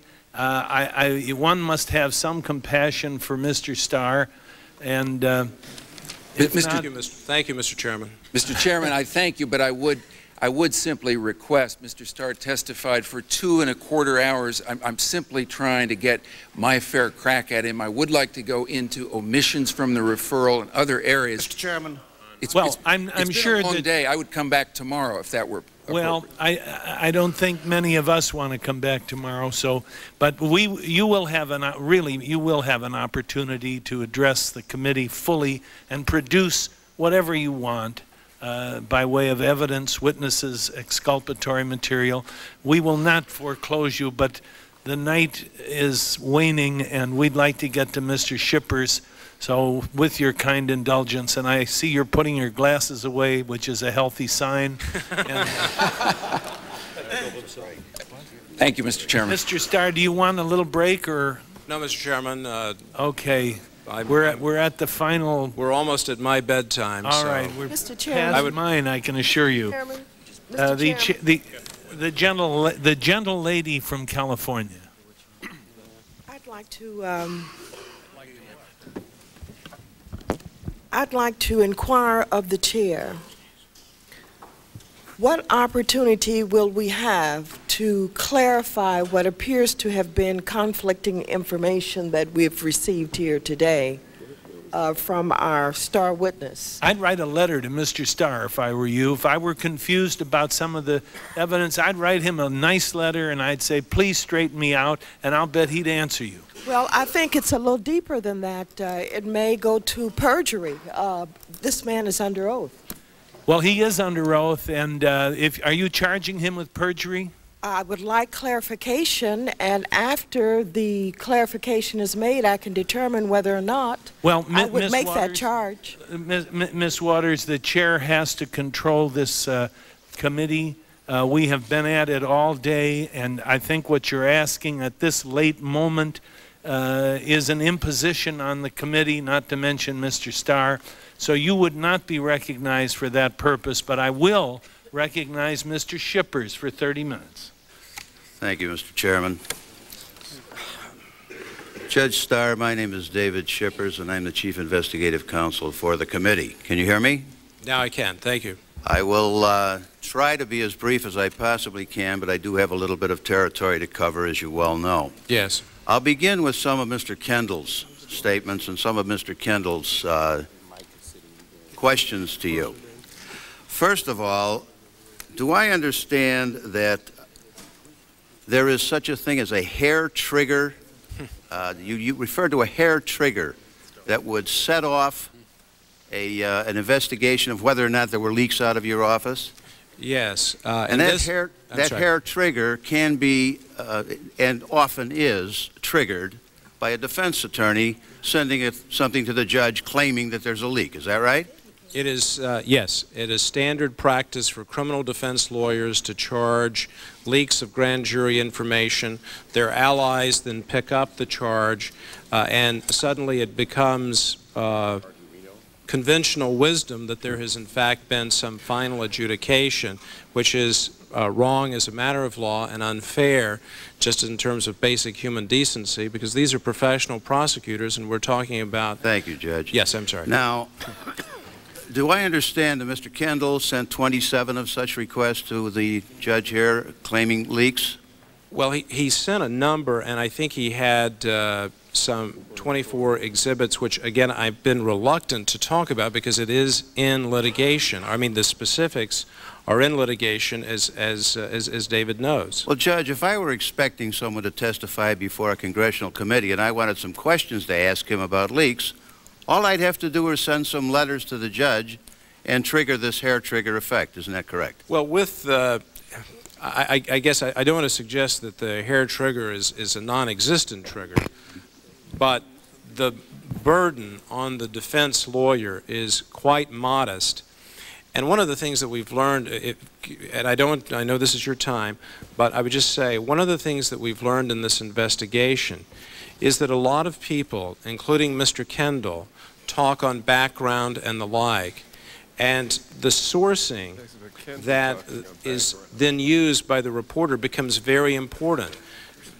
Someone as responsible as Tim Russert sourced a story in such a way that it looked like it came from us, he was decent and honorable enough to say, no, it didn't come from Starr's office. It, in fact, with all due respect, came from the Congress. Now, you're not under a 6E obligation, so you can talk as freely as you would like, and indeed you enjoy speech and debate clause immunity. However, prosecutors are very sensitive, especially in this jurisdiction, in light of the hair trigger, to a reporter who sort of says, sources close to. Well, what does that mean? It can mean almost anyone. And I think that one of the things that this litigation will, in fact, show, but uh, is that that becomes an issue ever so quickly as we saw in the Marion Barry case and as we saw in the Dan Rostenkowski case. And now, Judge, uh, Mr. Kendall mentioned massive leaking. I'm going to ask you a specific and direct question. As you sit there, do you have any information, evidence, or anything in your possession to indicate that anyone in your office has leaked anything, any 6E material? Well, again, it depends on what one means by 6E because there are issues. I have a press release. Within your, your no, definition within, of 6E. within my informa- within my understanding, and I think that my understanding is correct. No, I can say here that that that now, but I also think that it's important for this litigation that I've talked about to go forward and let's see what happens in that litigation again is under seal, but there's an orderly process, just as the Supreme Court said in the Paula Corbin Jones case. Let's allow that orderly process to go forward. Fine. Now, sir, you were asked whether you were present during the taking of the 302s, the FBI interviews, whether you were present at the grand jury uh, appearances of all these witnesses, whether you were present during the course of uh, interviews and depositions, and you answered no. Isn't that correct? That's correct. But you did have experienced, highly experienced professional agents and prosecutors present at each and every one of those occasions, did you not? I did. And you relied upon the integrity, the honesty, and the decency of those agents and investigators, did you not? I did, and very proudly so. Right, now I noticed that Mr. We've heard an awful lot about fairness here, Judge Starr, but I noticed that when you sat down this morning, you were given about two inches of documents to review. How long did you have to review those before Mr. Lowell began questioning you? Uh, unless Mr. Lowell shipped it over this morning, uh, I left uh, the office at 9:15 to come to the House of Representatives, and I had not seen it. If it's waiting on my desk, then I suppose he gave me some notice. But no, in terms of actual notice, I had no notice whatsoever. Now, you were also given a, uh, a book filled with some 63 tabs when Mr. Kendall began to question you. When's the first time you saw that book? Uh, this evening, when I came in after uh, uh, having uh, a sandwich. And uh, the, they, of course, they had they were in possession of those books before you left to have your sandwich. They didn't give it to you to review, did they? N- No, Hey. uh, uh, unless it's sitting on my desk, it's not. They did not, and uh, I'm confident. I have to be careful what I say No. uh, because of not having universal facts. But, Mr. Schippers, no, I had no advance notice that this was going to be inquired and you were into. questioned about specific one line, two lines inside of this two and a half inch document, and you had to go and hunt for the answers, didn't you, Judge? I did. Now, we have heard over two hours of questioning, almost three hours of questioning if we include the Democratic members of this uh, committee. And I haven't heard anybody ask you one question about the facts of these cases. So, with your permission, Judge, I'm going to take a few minutes and get to the facts and the issues that are really before this committee. First of all, Mr. Conyers, in his opening statement, made a remark about a recent delivery of four boxes of documents. That delivery was made, what was it, yesterday or the day before, to the Ford building, was it not, Mr. or Judge Starr? Yes, I I believe it was uh, the day before. Now, that wasn't your idea to, to deliver those, was it? No, it was not. It was an answer to a request by Mr. Conyers that you provide additional information, wasn't it? Yes, that, well, it was a congressional request. I believe it originated with Congressman Conyers. And you were just We've had so many requests. We've had individual requests from individual members. I don't mean to complain, but we don't have a congressional office. We're prosecutors and lawyers, so we do the best we can. We've had a virtual flurry of requests for information, but I believe Mr. Con, uh, excuse me, Congressman Conyers was one of the requesters with respect to that information, and we tried to be responsive. Yes. Now, Judge Starr, you have been investigating President Clinton and the Monica Lewinsky matter and other matters involving perjury, obstruction of justice, conspiracy, and so on for some seven or eight months. Is that correct? Yes, I guess now 10 months. Have you been given any exculpatory evidence by the President, or have you been offered any exculpatory evidence or witnesses by the President in that time? I don't believe that we have. I, I would want to check, and, and, and, if I have additional information, I would provide it to the committee. But as I sit here this evening, I'm not aware of any suggestion that there is exculpatory uh, evidence other than the discussion we've had here today with respect to what uh, one individual witness may have said. But no, no witness has come forward to say, Monica Lewinsky made it all up. No one has suggested that. No one has suggested. So I, am sorry to be going on, but the point is, I think you've we, answered the question. We stand ready to receive information, but no one has been. That was my next question. If information were available and were, were had been given to you, you would have considered that along with all the other information. Is that correct? Oh yes, absolutely. And in fact, one of my colleagues uh, uh, reminds me that we specifically asked in the flurry of this investigation, we asked Mr. Kendall by letter, please provide us with any exculpatory information. Mr. Kendall said there was nothing to exculpate, or that there was nothing to worry about exculpation from. Now, there was a great deal of uh, discussion throughout the day about the difference between your investigation and that of Mr. Jaworski. There was no Independent Counsel Act when Mr. Jaworski was performing his duties, was there? That is correct. He had no statute to look to at all. And your actions as regards referrals to this committee are governed by federal statute, are they not, Judge? They are indeed. And you attempted to the best of your ability to comply with those federal statutes? That is correct. And if I could just add, there was no experience under this, happily for the country, under this uh, provision of the statute. So we were sailing in uncharted waters and trying to come to the best professional judgment we could about what Congress intended and wanted uh, in this provision that required us to report to it. One aside, uh, in the 63, have you had an opportunity, uh, I know you haven't had a reasonable opportunity, but have you had any opportunity to page through Mr. Kendall's 63 tabs?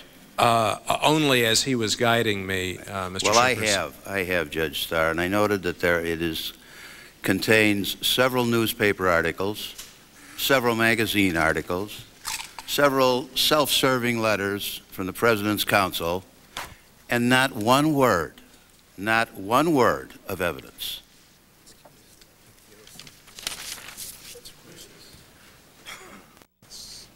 By the way, the other two incher is equally devoid of evidence. During your term as independent counsel, sir, and with particular reference to your investigation of the Lewinsky matter and the perjury and the obstruction of justice and other related criminal activity, you were under the guidance and control of the Attorney General of the United States, were you not? Well, I was certainly under her ultimate supervision in terms of the provisions for removal, but uh, the, of course the independent counsel is to be independent of her uh, daily supervision. I mean that in the sense that if you were to be involved in anything untoward, unethical, illegal, the Attorney General had the absolute ability to fire you for cause, did she not? Yes, I mean the statute is clear that an independent counsel can be removed for a good cause. Now, you've been pilloried and vilified in newspapers and magazines and here, unfortunately. Has the Attorney General ever indicated that she had any thought of firing you for cause? I'm not aware of any expression of any uh, issue at all with respect to good cause.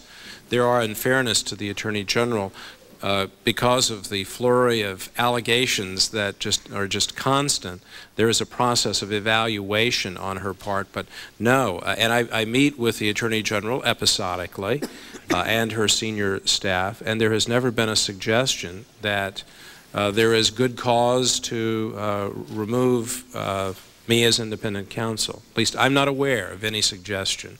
Well, you've never No, been, the- has the Attorney General ever questioned uh, you about conflicts of interest or anything like that? No, the Attorney General has not, but the Attorney General has a process through the Office of Professional Responsibility or otherwise exercising her jurisdiction. But uh, thus far, the issues that have gone to the, that have been acted on, uh, we have been cleared on. Or, or else no action has been taken over the years of my stewardship as the independent counsel. I know all of these um, specific factors that various people have asked you if you reported to the Attorney General when you met her on the 16th of, when was it, the 15th of January? Well, we met with the Deputy Attorney General, pardon me, uh, on the 15th, uh, and, then there was, and again, I, I did not have these meetings as, as it turned out.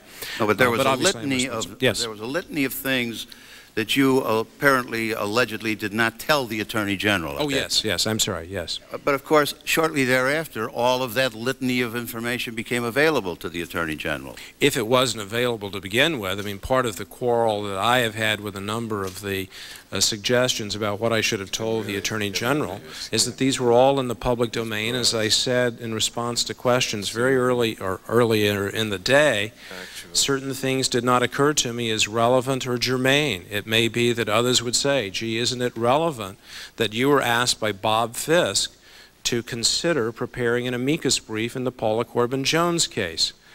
I didn't view it as, well, it just didn't occur to me. That's fine, that's fine, but it did become available and no action was taken. No, that's correct. Now, let's get to this um, January 16th meeting with Monica Lewinsky that uh, so much has been made of. Yes. I've been a prosecutor too, and uh, Monica Lewinsky, from my reading, was treated very, very nicely by your agents. Thank you. I believe that I, is- I hear Sorry. laughter from the left, but I often hear laughter from the left, even when you're testifying, and I didn't really think it was fair to laugh at you when you were testifying either. Well, I think uh, that the, the record, a fair assessment of the record will show that we wanted her cooperation and we treated her with dignity and with respect, but we were prosecutors and we were investigators investigating crime. That's a serious matter, and we made it very clear to her she is in a serious situation. But we treated her with dignity, and we certainly took every step to make sure. I wonder she- how many Sorry. of your accusers have read the log that was kept of every minute of that day. Now, sir, there was also some question as to why Ms. Lewinsky was not allowed to call Mr. Carter. Mr. Carter had been given to Monica Lewinsky by Vernon Jordan, isn't that correct? That's correct. He And the evidence available to you at that time, phone evidence, indicated that perhaps Mr. Jordan had been in telephonic contact with the president at the time he was getting her that lawyer. That is Isn't that correct. correct, sir? that is correct. And in an abundance of caution, you did not want the president to know that Monica Lewinsky was talking to you. Isn't that right? That is correct. And that's a perfectly valid prosecutorial move, isn't it? Yes, very traditional. Nothing As a matter of fact, when uh, later Ms. Lewinsky decided she didn't want to be represented by Mr. Carter on that day, isn't that correct? Yes, she came to a decision to be represented by Mr. Ginsburg. And she called Mr. Ginsburg and she talked to Mr. Ginsburg, didn't she? Yes, I was just going to say that was in consultation with her family, so I don't know to what extent uh, Ms. Lewinsky was being guided by uh, her parents and, and especially Dr. Lewinsky. But in any event, she changed lawyers from the one that had been provided to her indirectly by the White House to an independent lawyer from the West Coast. Is that right? Oh, yes, and one who is well known to the family. And doesn't the evidence demonstrate that from the 16th on, or from that day on when she was unavailable, there was a three-day frenzy at the White House Monica Lewinsky by phone, by beeper, and that Mr. Jordan, Mr. Carter, and Ms. Currie were in constant efforts to reach Monica Lewinsky. Isn't that a fact? I believe that is true. Does that indicate to you that they were a little bit afraid of what Monica might say? I think there was concern.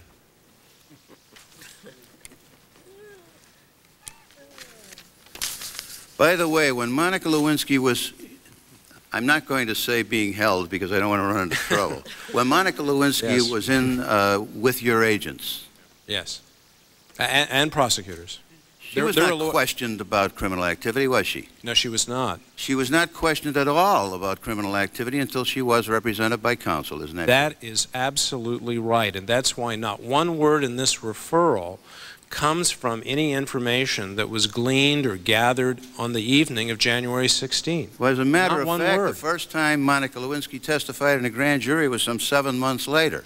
It took right? a, it took a long time and a new set of lawyers, two very distinguished lawyers here in Washington, with And uh, if she was afraid and if she was disturbed on January 6th, she was sure as heck over it by Octo- August 6th, wasn't she? y- well, she was at least, yes, she seemed to be. but I'm very fearful of saying anything about state of mind, especially in light of a comment I've heard with respect, but in, in, in any event. Do you have before you, Judge, Char, uh, uh, Judge Starr, the first two, two-incher, the one that uh, Mr. Lowell gave you? Would you turn to tab 35, please? There are a whole series of remarks on, on page 35, and I think there was a 356, the page number. That's where tab 35 begins. The first uh, bullet, uh, have, do you have it, Judge? I do. The first bullet says Monica Lewinsky testified before the grand jury that, quote, no one ever asked me to lie, and I was never promised a job for my silence. All right? Yes. She also testified, but nobody told me to tell the truth either, did she? Didn't she? Absolutely. Now, Monica Lewinsky also testified that she had a conversation with the president in the White House, or when he on the phone, when she found out that she was on the witness list, and the president told her, "You can make an affidavit." Th- That is words to that effect on. The uh, affidavit, of course, would be for the purpose of avoiding testimony. Isn't that correct, Judge yes, Starr? that, that was correct. That was And in order to accomplish that purpose, both the President and Ms. Lewinsky were fully aware that that affidavit would have to be a lie. Isn't that right? yes. And it was the President's suggestion that she make that affidavit? According to her testimony. According to her testimony, yes.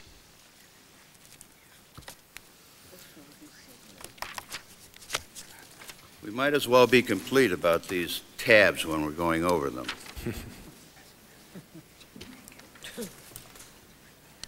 We're going to talk a little bit about fairness, if I may. The President of the United States testified before a grand jury, did he not, Judge Starr? Yes, he did.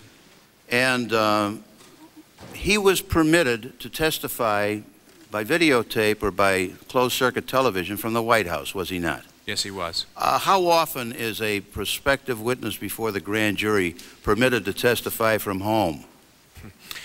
Very rarely. Uh, So that was being overly fair to the president by letting him testify there, isn't that right? We tried to respect the dignity of the presidency and the president, and we readily agreed to provide this alternative mechanism at Mr. Kendall's request Fine. to his actual appearance before the grand jury.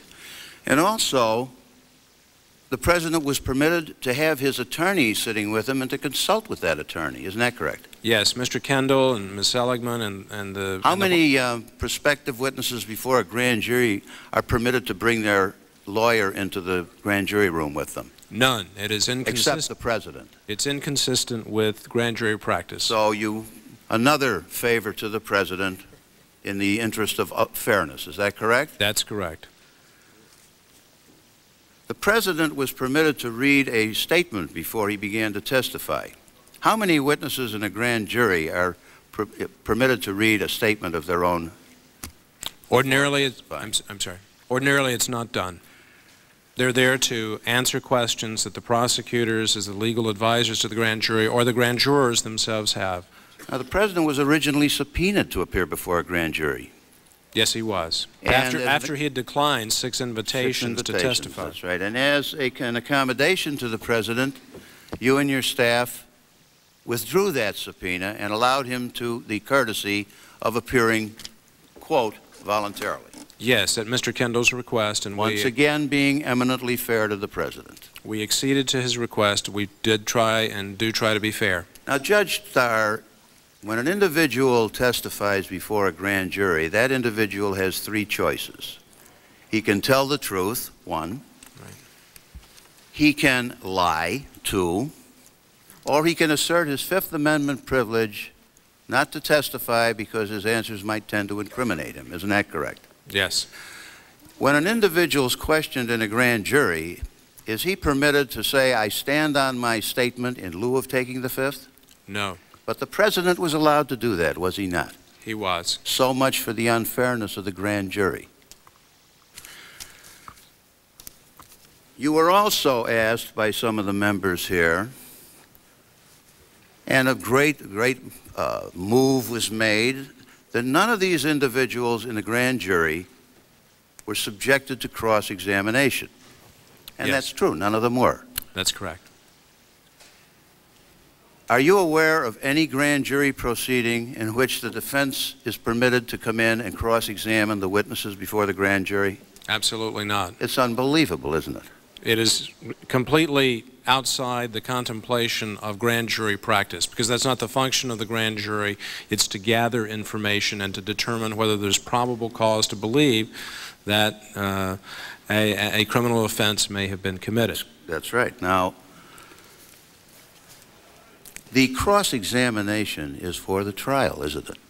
Yes, absolutely. Now, we're talking, if I change, change horses a little bit and go to the impeachment Yes. proceeding, the Constitution provides that the sole power of impeachment resides in the House of Representatives. Isn't that correct? That is correct. And that is in the nature of a grand jury proceeding which results in a charge. Isn't that right? That's right. So there should be no cross-examination at that stage of the proceeding either, should there? That's entirely within your prerogative, but uh, to the extent that you're mirroring the grand jury, there is no cross-examination. Well, over and above that, Judge Starr, the Constitution further provides that the sole power to try an impeachment resides in the Senate. Isn't that correct? that is true. So if this House were to permit cross-examination and to hold a mini-trial here, they would be usurping the constitutional duties of the United States Senate. Isn't that correct? Well, I'm not sure I would uh, necessarily agree with that because I think I, I, hear the think moaning from the left again. because I no I I, th- I think Somebody need an aspirin? no I, I I I think there are substantial. I, I shouldn't be advising the House of Representatives in terms of its prerogatives, but it seems to me that under the Constitution you will have a you know extraordinary latitude uh, under whatever rules of the House under which you're operating to determine how to proceed.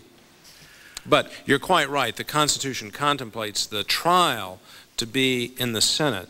And what you're quite rightly saying is, if one is saying, let's have a trial, you might have the raw power to do it, but it's almost as if, well, that doesn't count because the real issue is, is there substantial or whatever the standard is that the House of Representatives sees fit to, uh, to uh, articulate as its operative standard.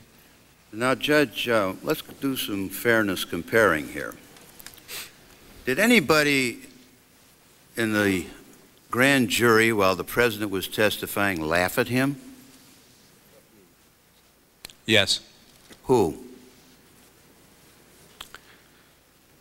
Members of the grand jury. And when was that, Judge Starr? While the president was testifying and telling what he told the grand jurors, they were laughing at him. Is that, your, is that right, sir? I understand that there were some occasions uh, where one or more grand jurors, at, at least that is my understanding, but I want to protect the confidentiality of, of the grand jury process and deliberative process, even though you have all the transcripts and, and, and the like. I would just rely on what the transcripts say. All right. Well, when the, when the president was asked questions, he was asked questions one at a time, was he not? Yes. And they were relatively simple questions, and he was permitted to give full and complete answers. Isn't that correct? Yes. He wasn't asked six or eight questions at a time, running over a four or five minute period, and then given 10 seconds to answer, was he? Definitely not. Now, by the way, uh, did anybody cut off the president when he tried to answer questions?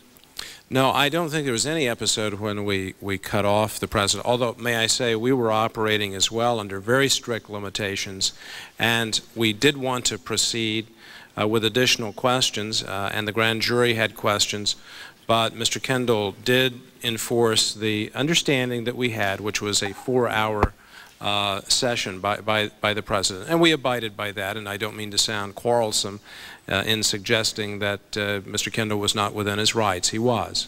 Now, Judge, uh, there's been a lot of talk in the public domain and on the television and things that this is that all the president did was deny sex, deny a sexual relationship with a with an intern. He went a lot further than that, didn't he? For example, with Mr. Blumenthal. Yes. As a matter of fact, before Mr. Blumenthal, Blumenthal came in to testify, he was subjected to an elaborate, elaborate lie by the president concerning the relationship with Monica Lewinsky. Yes, he was. If I may, the president told Mr. Blumenthal that Monica made sexual demands upon him, which he rebuffed. All right? And that was not true, was it? That was not true. He also said that Monica Lewinsky threatened to claim an affair and he wouldn't go along with it. That he had been threatened by Monica Lewinsky. Is that right? Yes. Now, this is at a time when the president thought that it was a one on one with Monica Lewinsky, didn't he? I believe that is what he thought at that time. And this would have been a perfect answer. She threatened to say I had sex with her. If I didn't do something for her, I didn't do something. Therefore, everything she's saying is a lie. It would be a very good answer. Now, yours, you've been, it's been suggested that your people used a young lady and betrayed a young lady. Wouldn't that more properly belong to the President of the United States? Well, I'm not sure I should be the one to pass judgment, but we certainly did not betray Ms. Lewinsky. We were doing our job, uh, and we certainly never took any steps other than to try to vindicate the interests of the criminal law. Mr. Schippers, your time is uh, expired. Do you need a do you need additional time? If I may, and if Judge Starr can stand it. Well, I, I, I will not lead, need a great deal more, Mr. Chairman. All right, uh, I'll uh, allow an additional 15 minutes, and maybe you won't use that. Hope. Said he, hopefully. no. Prayerfully. I'm sorry, that, that, was, that was off the record. But There's Mr. Kendall tells me I should not do There's that. been some suggestion, Judge, that this was merely a private crime. The um, United States Constitution provides for three branches of government, does it not? Co-equal branches. That's correct. And the judiciary is co-equal with the executive. Absolutely. Did I understand you earlier to say that lying under oath, perjury, and obstruction of justice strikes at the very heart of the judicial system of the United States? Absolutely, and I think every judge would agree with that, that this is absolutely inimical to the judicial functioning. It is inimical to our court system. And under that, uh, the Constitution of the United States, if the judicial system is destroyed, that is destroying one of the constitutional portions of our government, isn't it? No question that from the founding of the Republic, the importance of our judiciary as an enforcer of rights and the vindicators of rule of law is absolutely critical. So when the President of the United States lies under oath, civil or criminal case, grand jury or other, and obstructs justice, civil or criminal, grand jury or other, he is effectively attacking the judicial branch of the United States constitutional government, isn't he? That is the way I would view it. And that president takes the oath that he will faithfully execute the office of President of the United States and will, to the best of his ability, preserve, protect, and defend the Constitution of the United States. Right? Right. That's not defending, is it? No, it's not. There is a term that has stuck in my brain from these transcripts that I've read, and that is mission accomplished. When Webb Hubbell needed help, Vernon Jordan got somebody at Revlon, or the parent company of Revlon, to put him on retainer for no work, right? Essentially no work. So, Vernon Jordan, mission accomplished. When Monica was looking for a job, and it became very urgent for her to get a job, Mr. Jordan again accomplished his mission. Yes, he did. When Ms. Currie, when, the, when they wanted to get rid of the gifts, Ms. Currie went and picked them up, put them under her bed to keep them from anybody else. Another mission accomplished. That's correct. By the way, there's been some talk here that Monica said that she recalled that Betty Currie called her and said, either the president wants me to pick something up or I understand you have something for me to pick up. Later, Ms. Currie backed off of that and said, well, I'm not sure, maybe Monica called me. In the material that you made available, you and your staff made available to us, there were 302s in which Monica said, I think when Betty called me, she was using her cell phone. Do you recall that, I Judge do. Starr? I do. And in that same material that's in your office that both parties were able to review and that we did, in fact, review, there are phone records of Ms. Currie, are there not? There are. And there is a telephone call on her cell phone to Monica Lewinsky's home on the afternoon of, of December 28th, 1997, isn't there? That is correct. Once again, Monica is right and she has been corroborated, right? That certainly tends to corroborate uh, Ms. Lewinsky's recollection.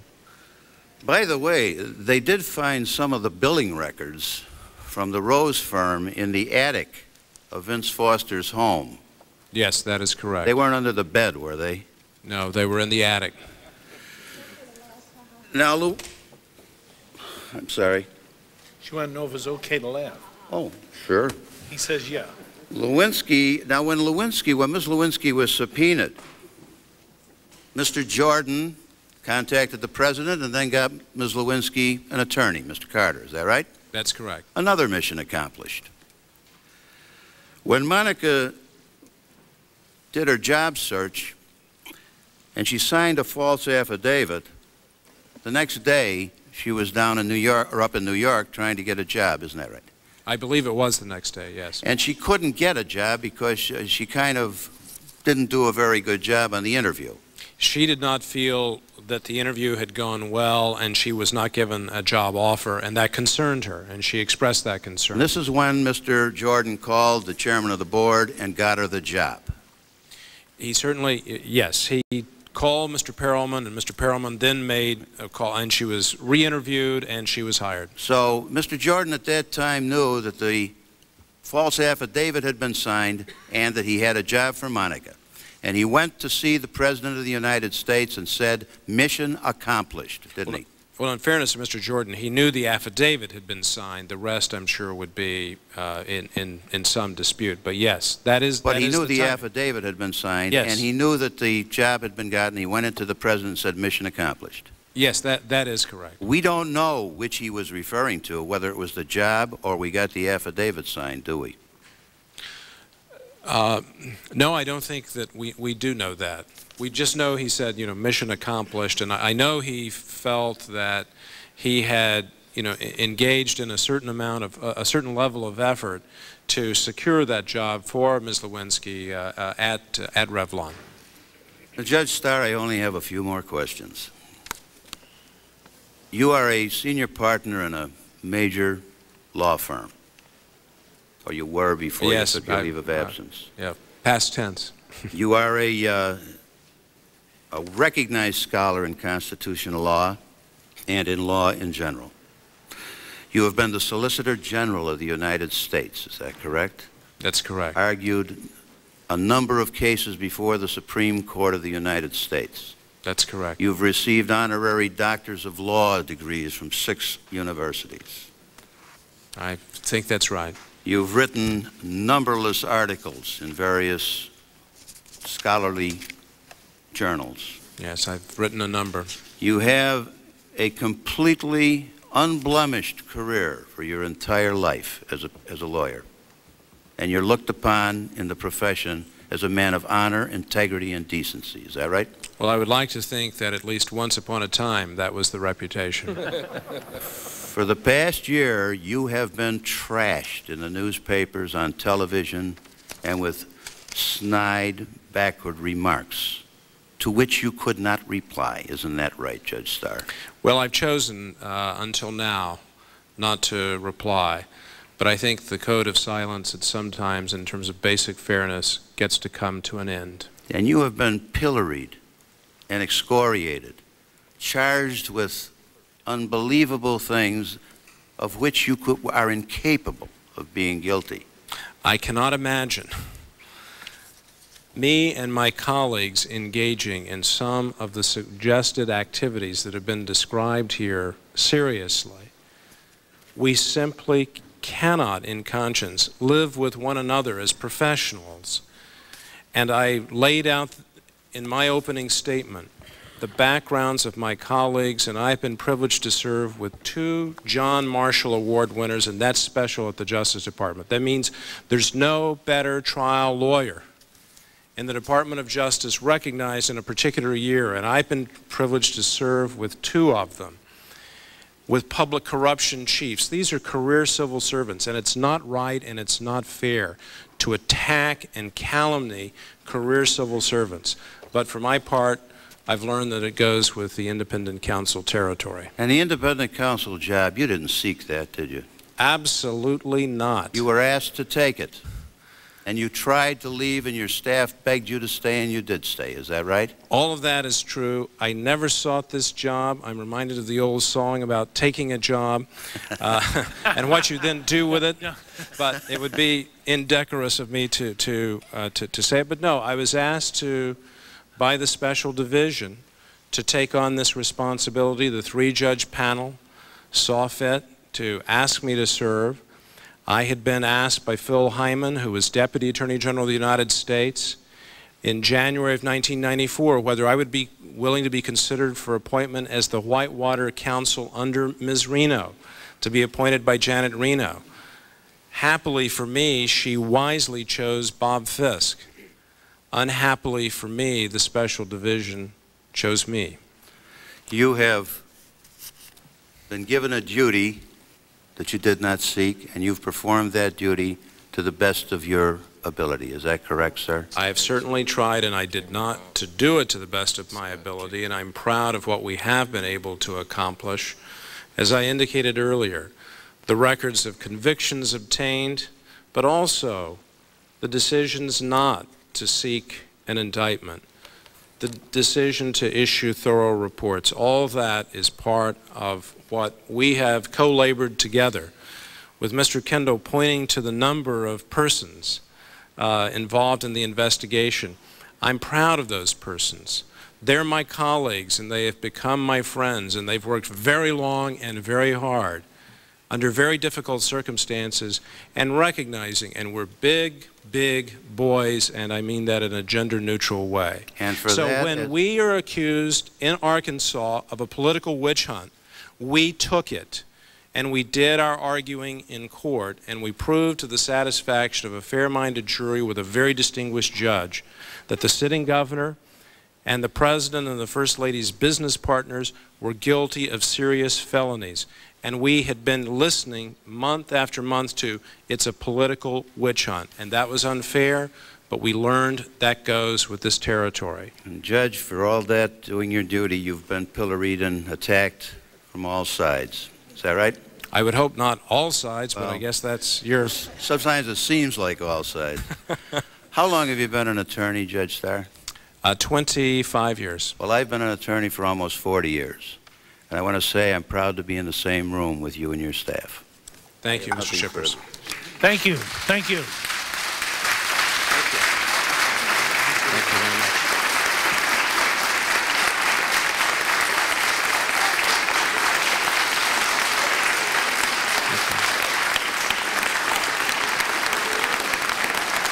Thank you.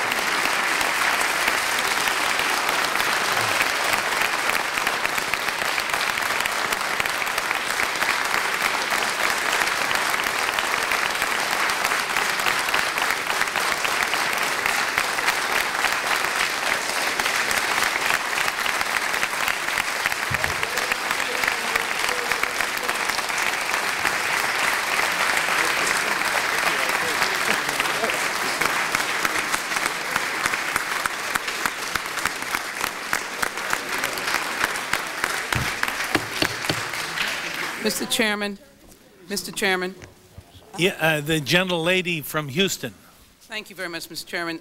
I indicated I had a point of order. This might be more preferable as a point of clarification, and that is, I know it's uh, extremely long into the evening, uh, Mr. Starr, but Mr. Chairman, did I understand Mr. Starr to state that we would not expect uh, any referrals on Filegate, Travelgate, and Watergate, excuse me, No, Whitewater. Whitewater? Uh, It's been many years. Um, As relates to the provision in the Constitution on impeachment, did I hear that? You, you made a statement, Mr. Chairman. I don't know if you want to make the statement. Mr. Starr wanted to make the statement, but you did make a statement, and I would appreciate it on the charge of our committee, since we do have that responsibility, if I heard correctly. And, Mr. Chairman, I had an addition to add to the record uh, and, and a question as to whether or not, because of the shortness of the time of questioning, whether or not Mr. Starr would be able to answer, or he indicated, I believe, to many members, that he would be willing to answer some of our questions uh, by way of uh, written answers. Uh, For example, the question I had of his firsthand knowledge of any details in that referral. Uh, But, Mr. Chairman, excuse me, excuse my voice, it's late into the evening, and I do want to add a uh, United States versus Birdman, 602 Fed Second 547, Third Circuit, 1979. Uh, I'd like to have that, uh, ask, uh, to have it submitted into the record, uh, which deals with uh, the statement that courts have shared the legal profession's disapproval of Yeah, the double role the, of the advocate gentle witness. lady has had her time now. Thank you, Mr. I- Do you have I- But I a would like the question the specific request? Yes, Mr. Chairman, I would like the specific question answered as to the referrals on Whitewater, uh, Travelgate, and Filegate. Okay, Mr. Starr, I, I, I- I know. Mr. Starr, can you The- answer that? the- I'm sorry. The opening statement uh, spoke to the uh, FBI files and travel office matter. I did not comment beyond those two matters. What did you Other say on those matters, Mr. I- That's what I asked. Well, i- if the gentle lady would read the, uh, read the report. When I say I didn't comment with respect to the conclusion of such matters, the, the opening statement speaks for itself, and I think we can, in fact, have that as part of the, uh, of- as part of the... Well, it is part of the official record. Yes. Very Thank you, well. Mr. Chairman. Well, thank, thank you, uh, Judge Starr, for a, a, a, a, fu- a wonderful day. Thank you. Thank you. Thank you. Everybody stay, please. The committee will stay. Maxine. Don't go. We're going to have a meeting.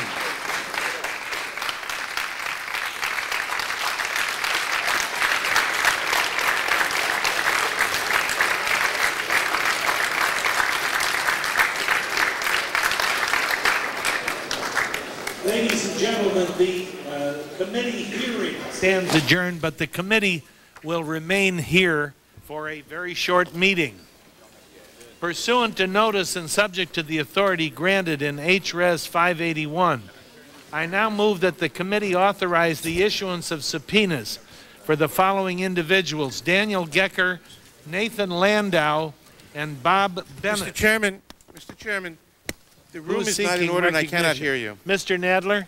I said the committee, somebody is not in order and I cannot hear you. Okay, I'll try it again. Pursuant to notice subject to the authority granted in HRS 581, I now move that the committee authorize the issuance of subpoenas for the following individuals: Daniel Gecker, Nathan Landau, Bob Bennett. Mr. Chairman, Is there any objection? Mr. Chairman, Mr. Nadler. I would like, Mr. Chairman, I would like to know why this proposal in particular, Mr. Gecker, I believe, I, I- I'm asking this as a question. i- if the gentleman will permit me, if we have to go into it, we have to go into executive session to let me ask one that. question, which we may not have to go into Okay, executive session. Okay, what is it? Mr. Gecker, I believe, is Miss Willey's lawyer. If you want information about, I presume he may uh, avail himself of attorney-client privilege claim. Why, if you want, he, would, he might have to. If you need information about that, why call the lawyer? Why not call the, the witness directly?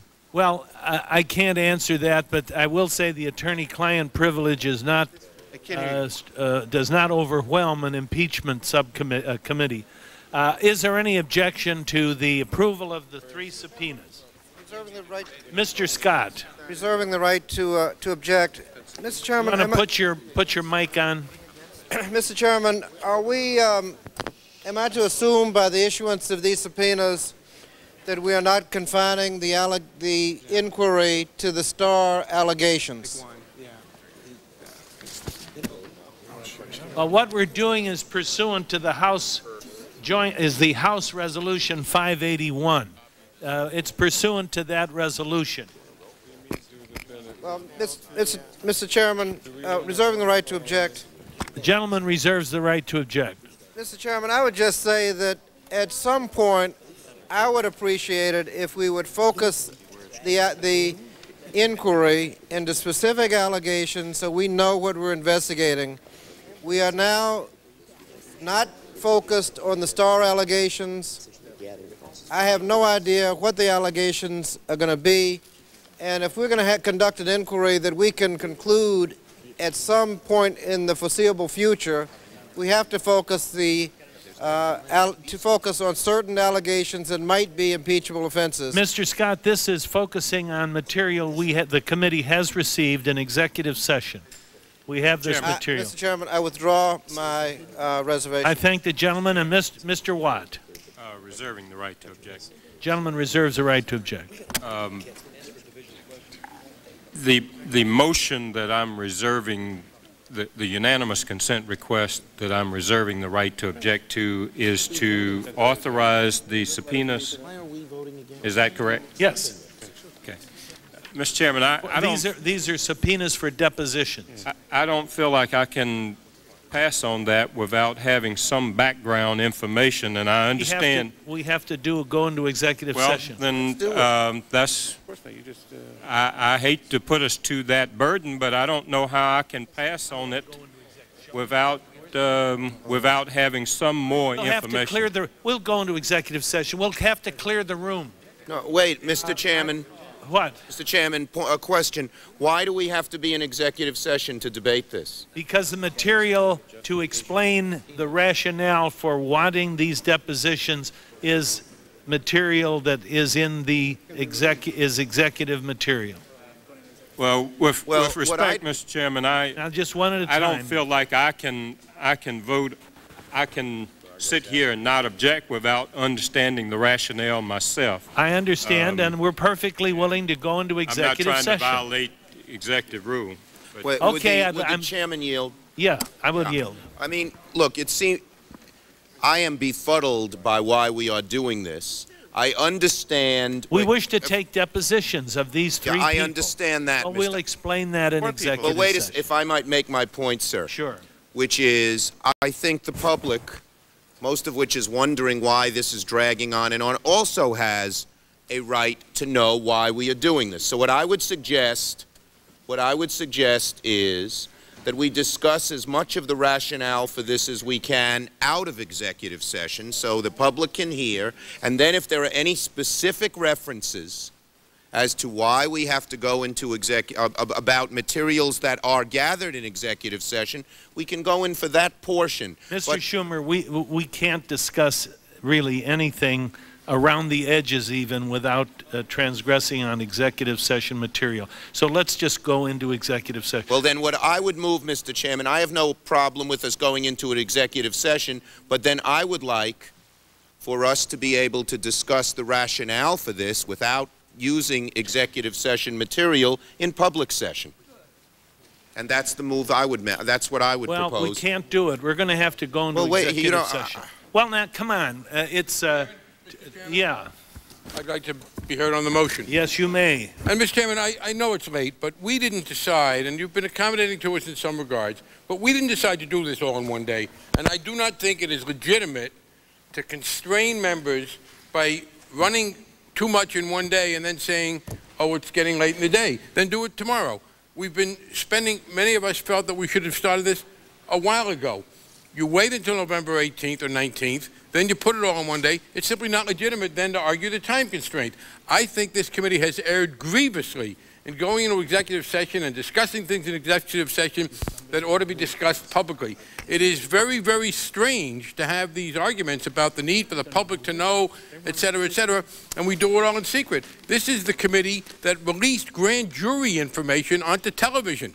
We made history in denying what had traditionally been something that would be kept somewhat private, and we do these by de we, we debated doing that in a in a private session.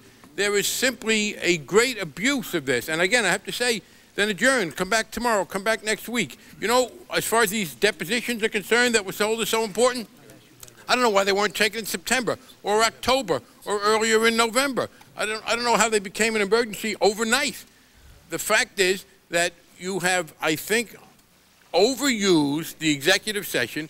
There are very important questions, and it is simply inconsistent to say this is a terribly important issue to the American people. People need to know about it, and we'll go in a secret and make all the decisions. Virtually every decision this committee has made, it is made in secret, and it is simply an inconsistent position to talk about the important public issues that are involved here by going into it in secret. All right, the gentleman's made his point. The gentleman is... Excuse me, Mr. Chairman, I think I have five minutes. I'm sorry. Look, I didn't decide that we would try to do it all in one day.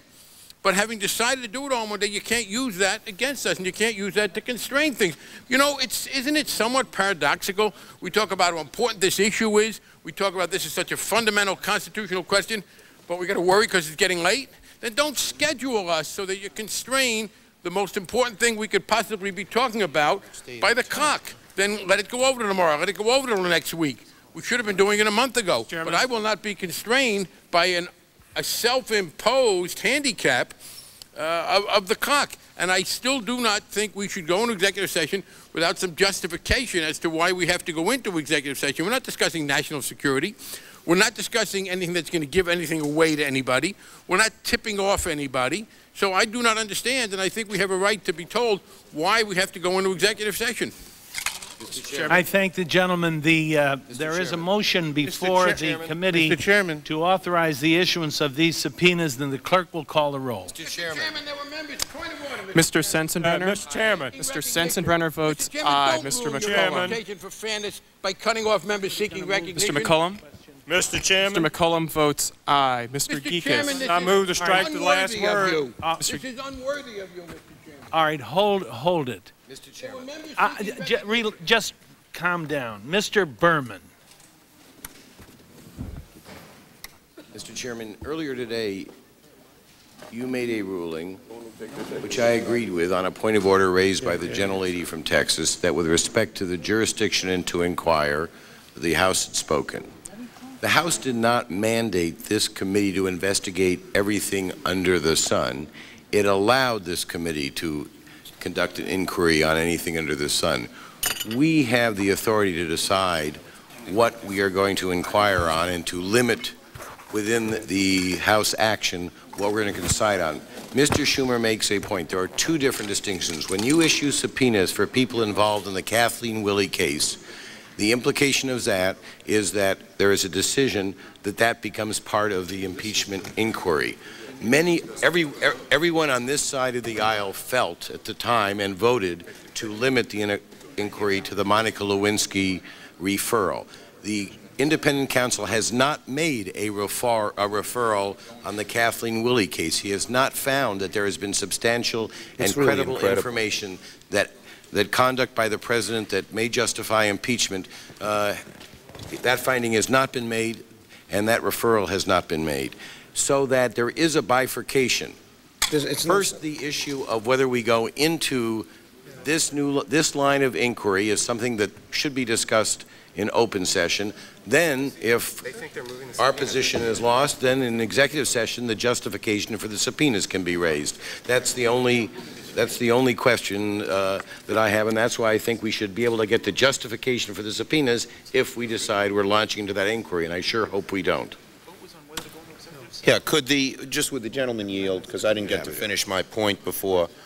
Could the chair give us some, without treading on executive session or anyone's confidentiality being disclosed, could the chairman give us some idea why these three people were chosen and not others, and where the chair intends to take this, these depositions? What is the point? We already have heard from Mr. Starr that he doesn't think the Willey episode rises to a level of impeachment. In my judgment, he has a pretty low threshold for impeachment, and if he doesn't think that the Willey affair does, then that's pretty dispositive to me. And here we are with three complete, you know, yesterday we heard talk of John Wang. It was very hard to figure out what that was all about. Now we're hearing these three.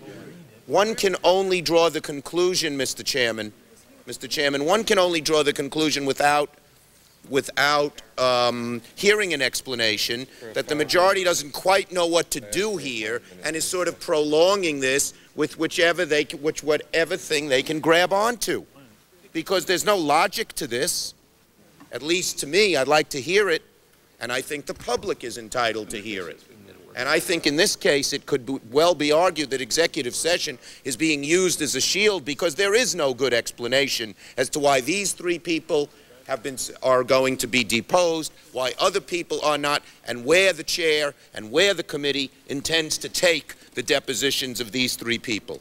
As again, on, on in at least particularly in an area where the uh, where the Office of Independent Counsel has said there is no impeachable offenses as far as it can see.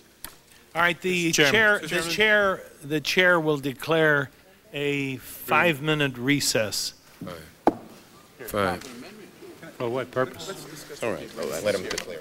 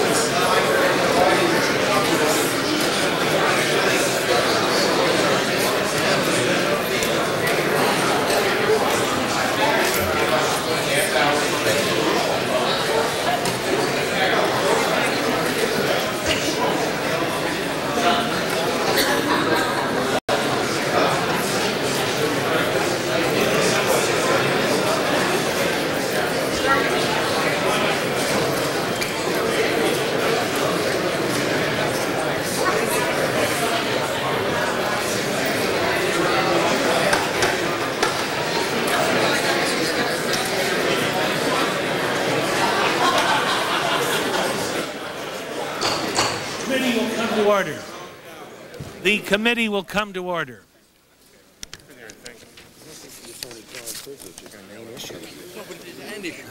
I agree it's an issue. I- I'm not saying don't do it. I'm saying we ought to do both. didn't I move that pursuant to Rule 11, Clause 2G1, this committee meeting be conducted in executive session. The clerk will call the roll. Move the previous question. It's non-debatable. Mr. clerk- Sensenbrenner. Mr. Sensenbrenner votes aye. Mr. McCollum. Mr. McCollum votes aye. Mr. Gekas. Mr. Gekas votes aye. Mr. Coble. Mr. Smith. Mr. Smith votes aye. Mr. Gallegly. Mr. Gallegly votes aye. Mr. Canady. Mr. Inglis. Abby, why is this motion undebatable? Mr. Inglis votes aye. Mr. Goodlatte. Mr. Buyer. Mr. Buyer votes aye. Mr. Bryant. Mr. Bryant votes aye. Mr. Chabot. Mr. Barr. Mr. Jenkins. Mr. Jenkins votes aye. Mr. Hutchinson. Mr. Pease. Mr. Pease votes aye. Mr. Cannon. Aye. Mr. Cannon votes aye. Mr. Rogan. Aye. Mr. Rogan votes aye. Mr. Graham. Aye. Mr. Graham votes aye. Miss Bono. Miss Bono votes aye. Mr. Conyers. What do you think next? I feel good. I think pretty good. Mr. Conyers. Mr. Conyers votes no. Mr. Frank. No. Mr. Frank votes no. Mr. Schumer. No. Mr. Schumer votes no. Mr. Berman. Mr. Boucher. No. Mr. Boucher votes no. Mr. Nadler. No. Mr. Nadler votes no. Mr. Scott. No. Mr. Scott votes no. Mr. Watt. No. Mr. Watt votes no. Miss Lofgren. Yeah, we should. We should. Miss, We should say this was a debatable motion and it could have been. Miss Lofgren votes no. Miss Jackson Lee. No.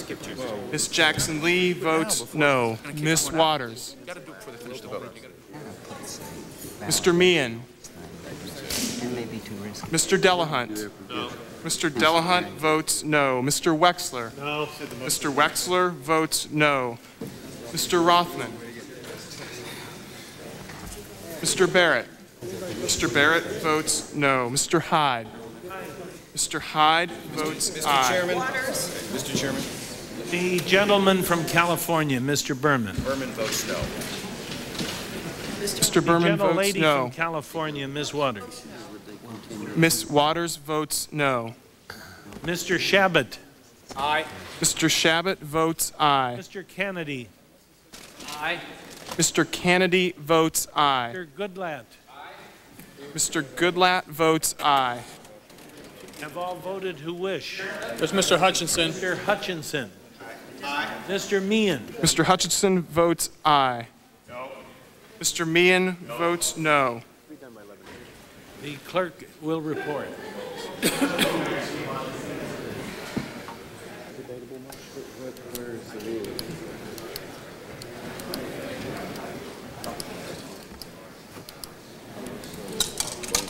Yeah, that's we're all running back from there. Mr. Chairman, there are 19 ayes and 15 noes. And the motion is agreed to, and the House, that is the committee, will stand at ease while we clear the room. Point of order before that, Mr. Yes, Chairman. Mr. Senator. What? Yeah, Mr. Chairman, according to the rules, at least a cursory review of the rules, a, a, a move to go into executive session is indeed debatable. Yes. Indeed, what? Uh, it is indeed debatable, and you said it was not debatable. I was so, in- I would ask I was that so we- informed by staff. Well, could counsel make a ruling on that, please, and point to the relevant part of our rules which shows that it is? I mean, now we're really flying by the seat of our pants. All right. I moved the previous. No, the fair. You did, and I Been just no made a point of order. Chairman. Your, your point of order is well taken. It is debatable. I was informed it was not. Thank you, Mr. Chairman. But if, do you want to debate this some more now? Yes. Well, you've already spoken, so Mr. Nadler Move the previous question. is recognized. We'll undo the roll call. We'll dump the roll call, and we'll start again. the Ms. Jackson Lee will be next. Thank you, Ma- Ma- Mr. Could the committee be in order? Go ahead, Mr. Nadler, I'm all ears. We voted, but we're going to undo it. Yeah. Regular order. The That's why this too was. noisy. Okay. yeah. w- w- The, the room won't be cleared till we go into executive I session. didn't ask it to be cleared. I simply asked to be quiet. Mr. Chairman. Oh, quiet, um, okay. I do not want it cleared. Mr. Chairman, we should not go into executive session until a reason is given as to whether as to why we are going into executive session. Number one. Number two, before we go before we talk about these subpoenas, we should have some basic idea of why we're being asked for these subpoenas. Specifically, the subpoenas apparently relate to the Kathleen Willey affair, which, as Mr. Schumer pointed out, the, the special prosecutor says raises no questions that rise to the level of possible impeachable offenses. And so I would want to know, does this relate to the Willey affair? If it doesn't, does it relate to something else? And why are we being asked for this? And I can't believe that some reason can't be given in public session. Secondly, if we are to have a motion to go into executive session, I would ask that the motion say go into executive session, then come back into open session so we can address whatever it is we can address publicly, because I believe we owe that to the public. Will the gentleman yield? Yes. Gentleman can make that motion when we're in executive session. No, no, I think we have to make that motion, be, that ought to be a condition of our going into executive session. Well, I don't agree Because if we it. make that motion in executive session, it's voted down, we can't even say it was voted down. That's true. And that's not right. Gentleman has it exactly right. But it's not the right thing to do or the right way to conduct our business. Okay, are you through? I would move to amend the motion then.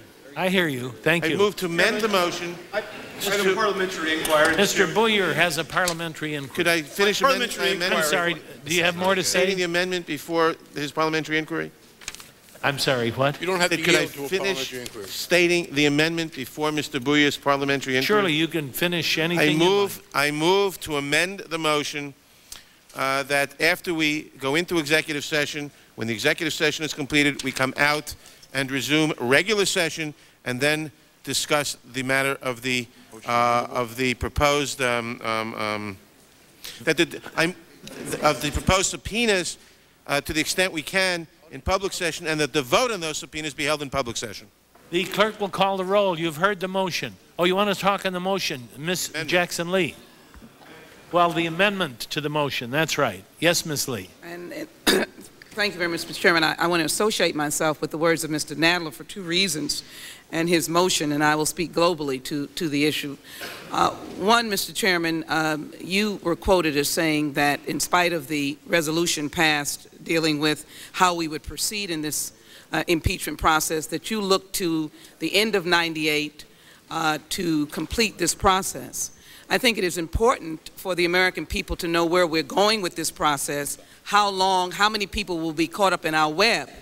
Uh, and clearly, I think uh, to go into executive session will preclude us from discussing this in an open manner as to whether this is going to go on and on and on and on. We have determined today that uh, the uh, witness, Mr. Starr, has indicated that certain referrals would not come here.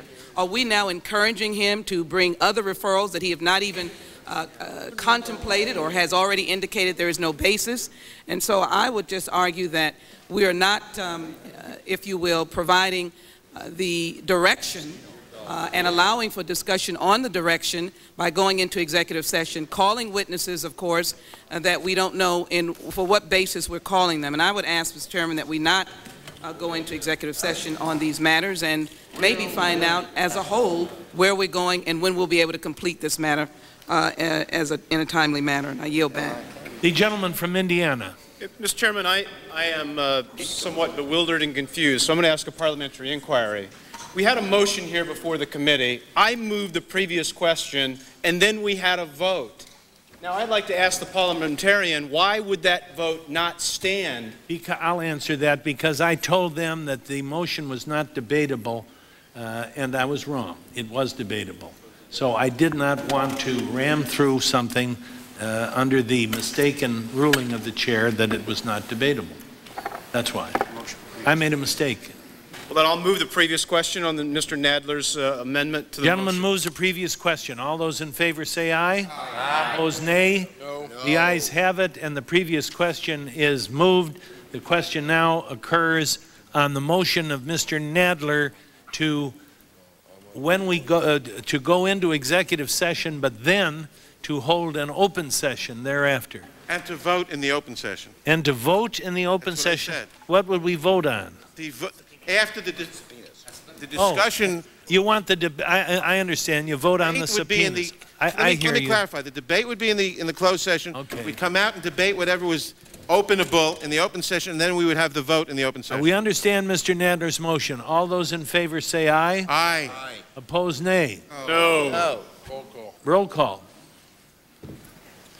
Mr. Sensenbrenner. Mr. Sensenbrenner votes no. Mr. McCollum. Mr. Gekas. Mr. Gekas votes no. Mr. Coble. Mr. Coble votes no. Mr. Smith. Mr. Smith votes no. Mr. Gallegly. Mr. Gallegly votes no. Mr. Canady. Mr. Canady votes no. Mr. Inglis. Mr. Inglis votes no. Mr. Goodlatte. Mr. Goodlatte votes no. Mr. Buyer. No. Mr. Buyer votes no. Mr. Bryant. No. Mr. Bryant votes no. Mr. Chabot. No. Mr. Chabot votes no. Mr. Barr. Mr. Jenkins. No. Mr. Jenkins votes no. Mr. Hutchinson. No. Mr. Hutchinson votes no. Mr. Pease. Mr. Chairman, no. Mr. Pease votes no. Mr. Cannon. No. Mr. Cannon votes no. Mr. Rogan. Mr. Chairman, regrettably, before voting, I simply want to make sure I'm clear on Mr. Nadler's motion, and I apologize for the confusion, but the noise and the rapidity in which this was moving was so quickly, I wasn't able to get a clarification of my satisfaction. Is the motion that we're debating upon now whether to debate the issuance of subpoenas in executive session No. and then The- Can I clarify the amendment again? Yes, please. The amendment says we will go into, exec- if the amendment is adopted, we will go into executive session, we will discuss whatever we discuss in executive session. Then we'll come out and resume the public session, debate whatever we can debate in the public session, and then vote in the public session. with that uh, elucidation, uh, Rogan votes no. Mr. Rogan votes no. Mr. Graham. What did you say, Jim? No. Mr. Barr. Mr. Graham votes no. Mr. Bono. Ms. Bono votes no. Mr. Barr. No. Mr. Barr votes no. Mr. McCollum. No. Mr. McCollum votes no. Clerk will report. Southside get to vote?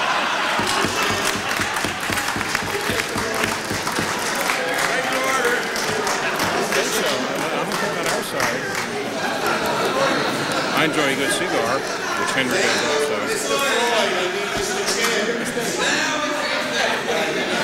What happened? Had you ever heard of cut to the chase? Mr. Clerk, the, the, the clerk, clerk will continue to call the roll, and don't let me try that again. Mr. Conyers. Aye. Mr. Conyers votes aye. Mr. Frank. Aye. Mr. Frank votes aye. Mr. Schumer. Aye. Mr. Schumer votes aye. Mr. Berman. Mr. Berman votes aye. Mr. Boucher. Mr. Boucher votes aye. Mr. Nadler. Aye.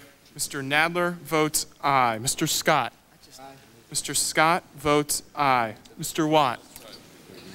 Pass. Mr. Watt passes. Ms. Lofgren. Aye. Ms. Lofgren votes aye. Ms. Jackson Lee. Aye. Ms. Jackson Lee votes aye. Ms. Waters. Ms. Waters votes aye. Mr. Meehan. Aye. Mr. Meehan votes aye. Mr. Delahunt. Aye. Mr. Delahunt votes aye. Mr. Wexler. Aye. Mr. Wexler votes aye. Mr. Rothman. Aye. Mr. Rothman votes aye. Mr. Barrett. Mr. Barrett votes aye. Mr. Hyde. No. Mr. Hyde votes no. Mr. Chairman, The gentleman from North Carolina. I vote um, aye. Mr. Watt votes aye. Delahan started out okay also. Mr. Chairman, there are 16 ayes and 21 noes. Mr. Nadler's motion is defeated. The, the, the, the question occurs now, Mr. Chairman, Mr. Chairman, for what purpose does the gentleman seek recognition? to offer an amendment.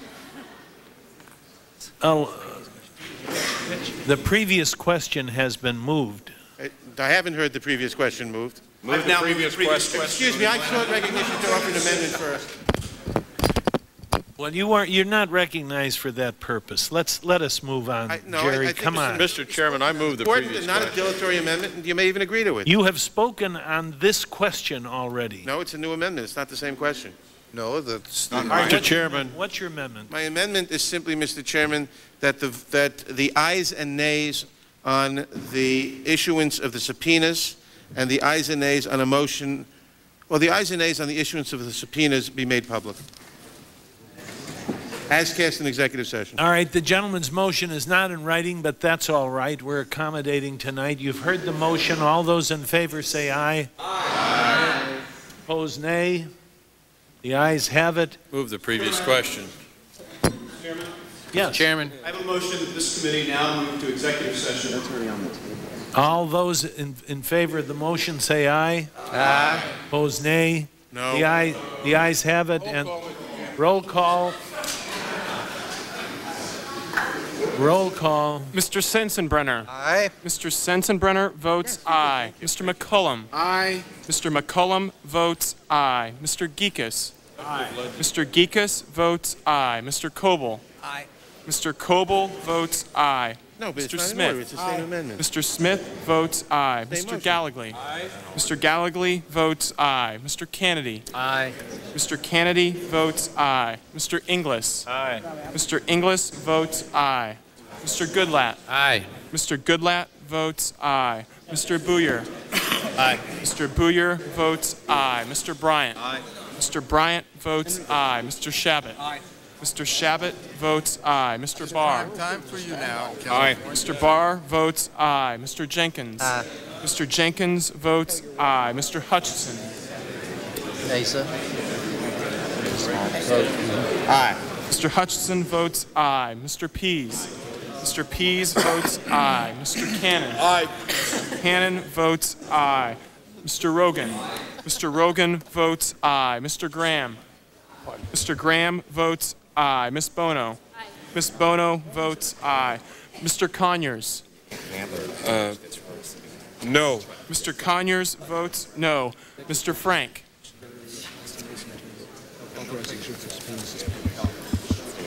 Frank. Mr. Frank. Frank votes no. In executive. Oh, in executive. Uh, uh, So you're? No. Mr. Frank votes no. Mr. Schumer. No. Mr. Schumer votes no. Mr. Berman. No. Mr. Berman votes no. Mr. Boucher. Mr. Boucher votes no. Mr. Nadler. No. Mr. Nadler votes no. Mr. Scott. No. Mr. Scott votes no. Mr. Watt. No. Mr. Watt votes no. Miss Lofgren. Miss Lofgren votes no. Miss Jackson Lee. No. Miss Jackson Lee votes no. Miss Waters. No. Miss Waters votes no. Mr. Meehan. No. Mr. Meehan votes no. Mr. Delahunt. Uh, no. Mr. Delahunt votes no. Mr. Wexler. We'll take it. Hey, Matt. No. Wexler. Mr. Wexler. No. Mr. Wexler votes no. Mr. Rothman. No. Mr. Rothman votes no. Mr. Barrett. Mr. Barrett votes no. Mr. Hyde. Aye. Mr. Hyde votes aye. Mr. Chairman, there are 21 ayes and 16 noes. And the motion is carried, and the House will go into the committee will go into executive session, and we will stand at ease until the room is cleared. Um,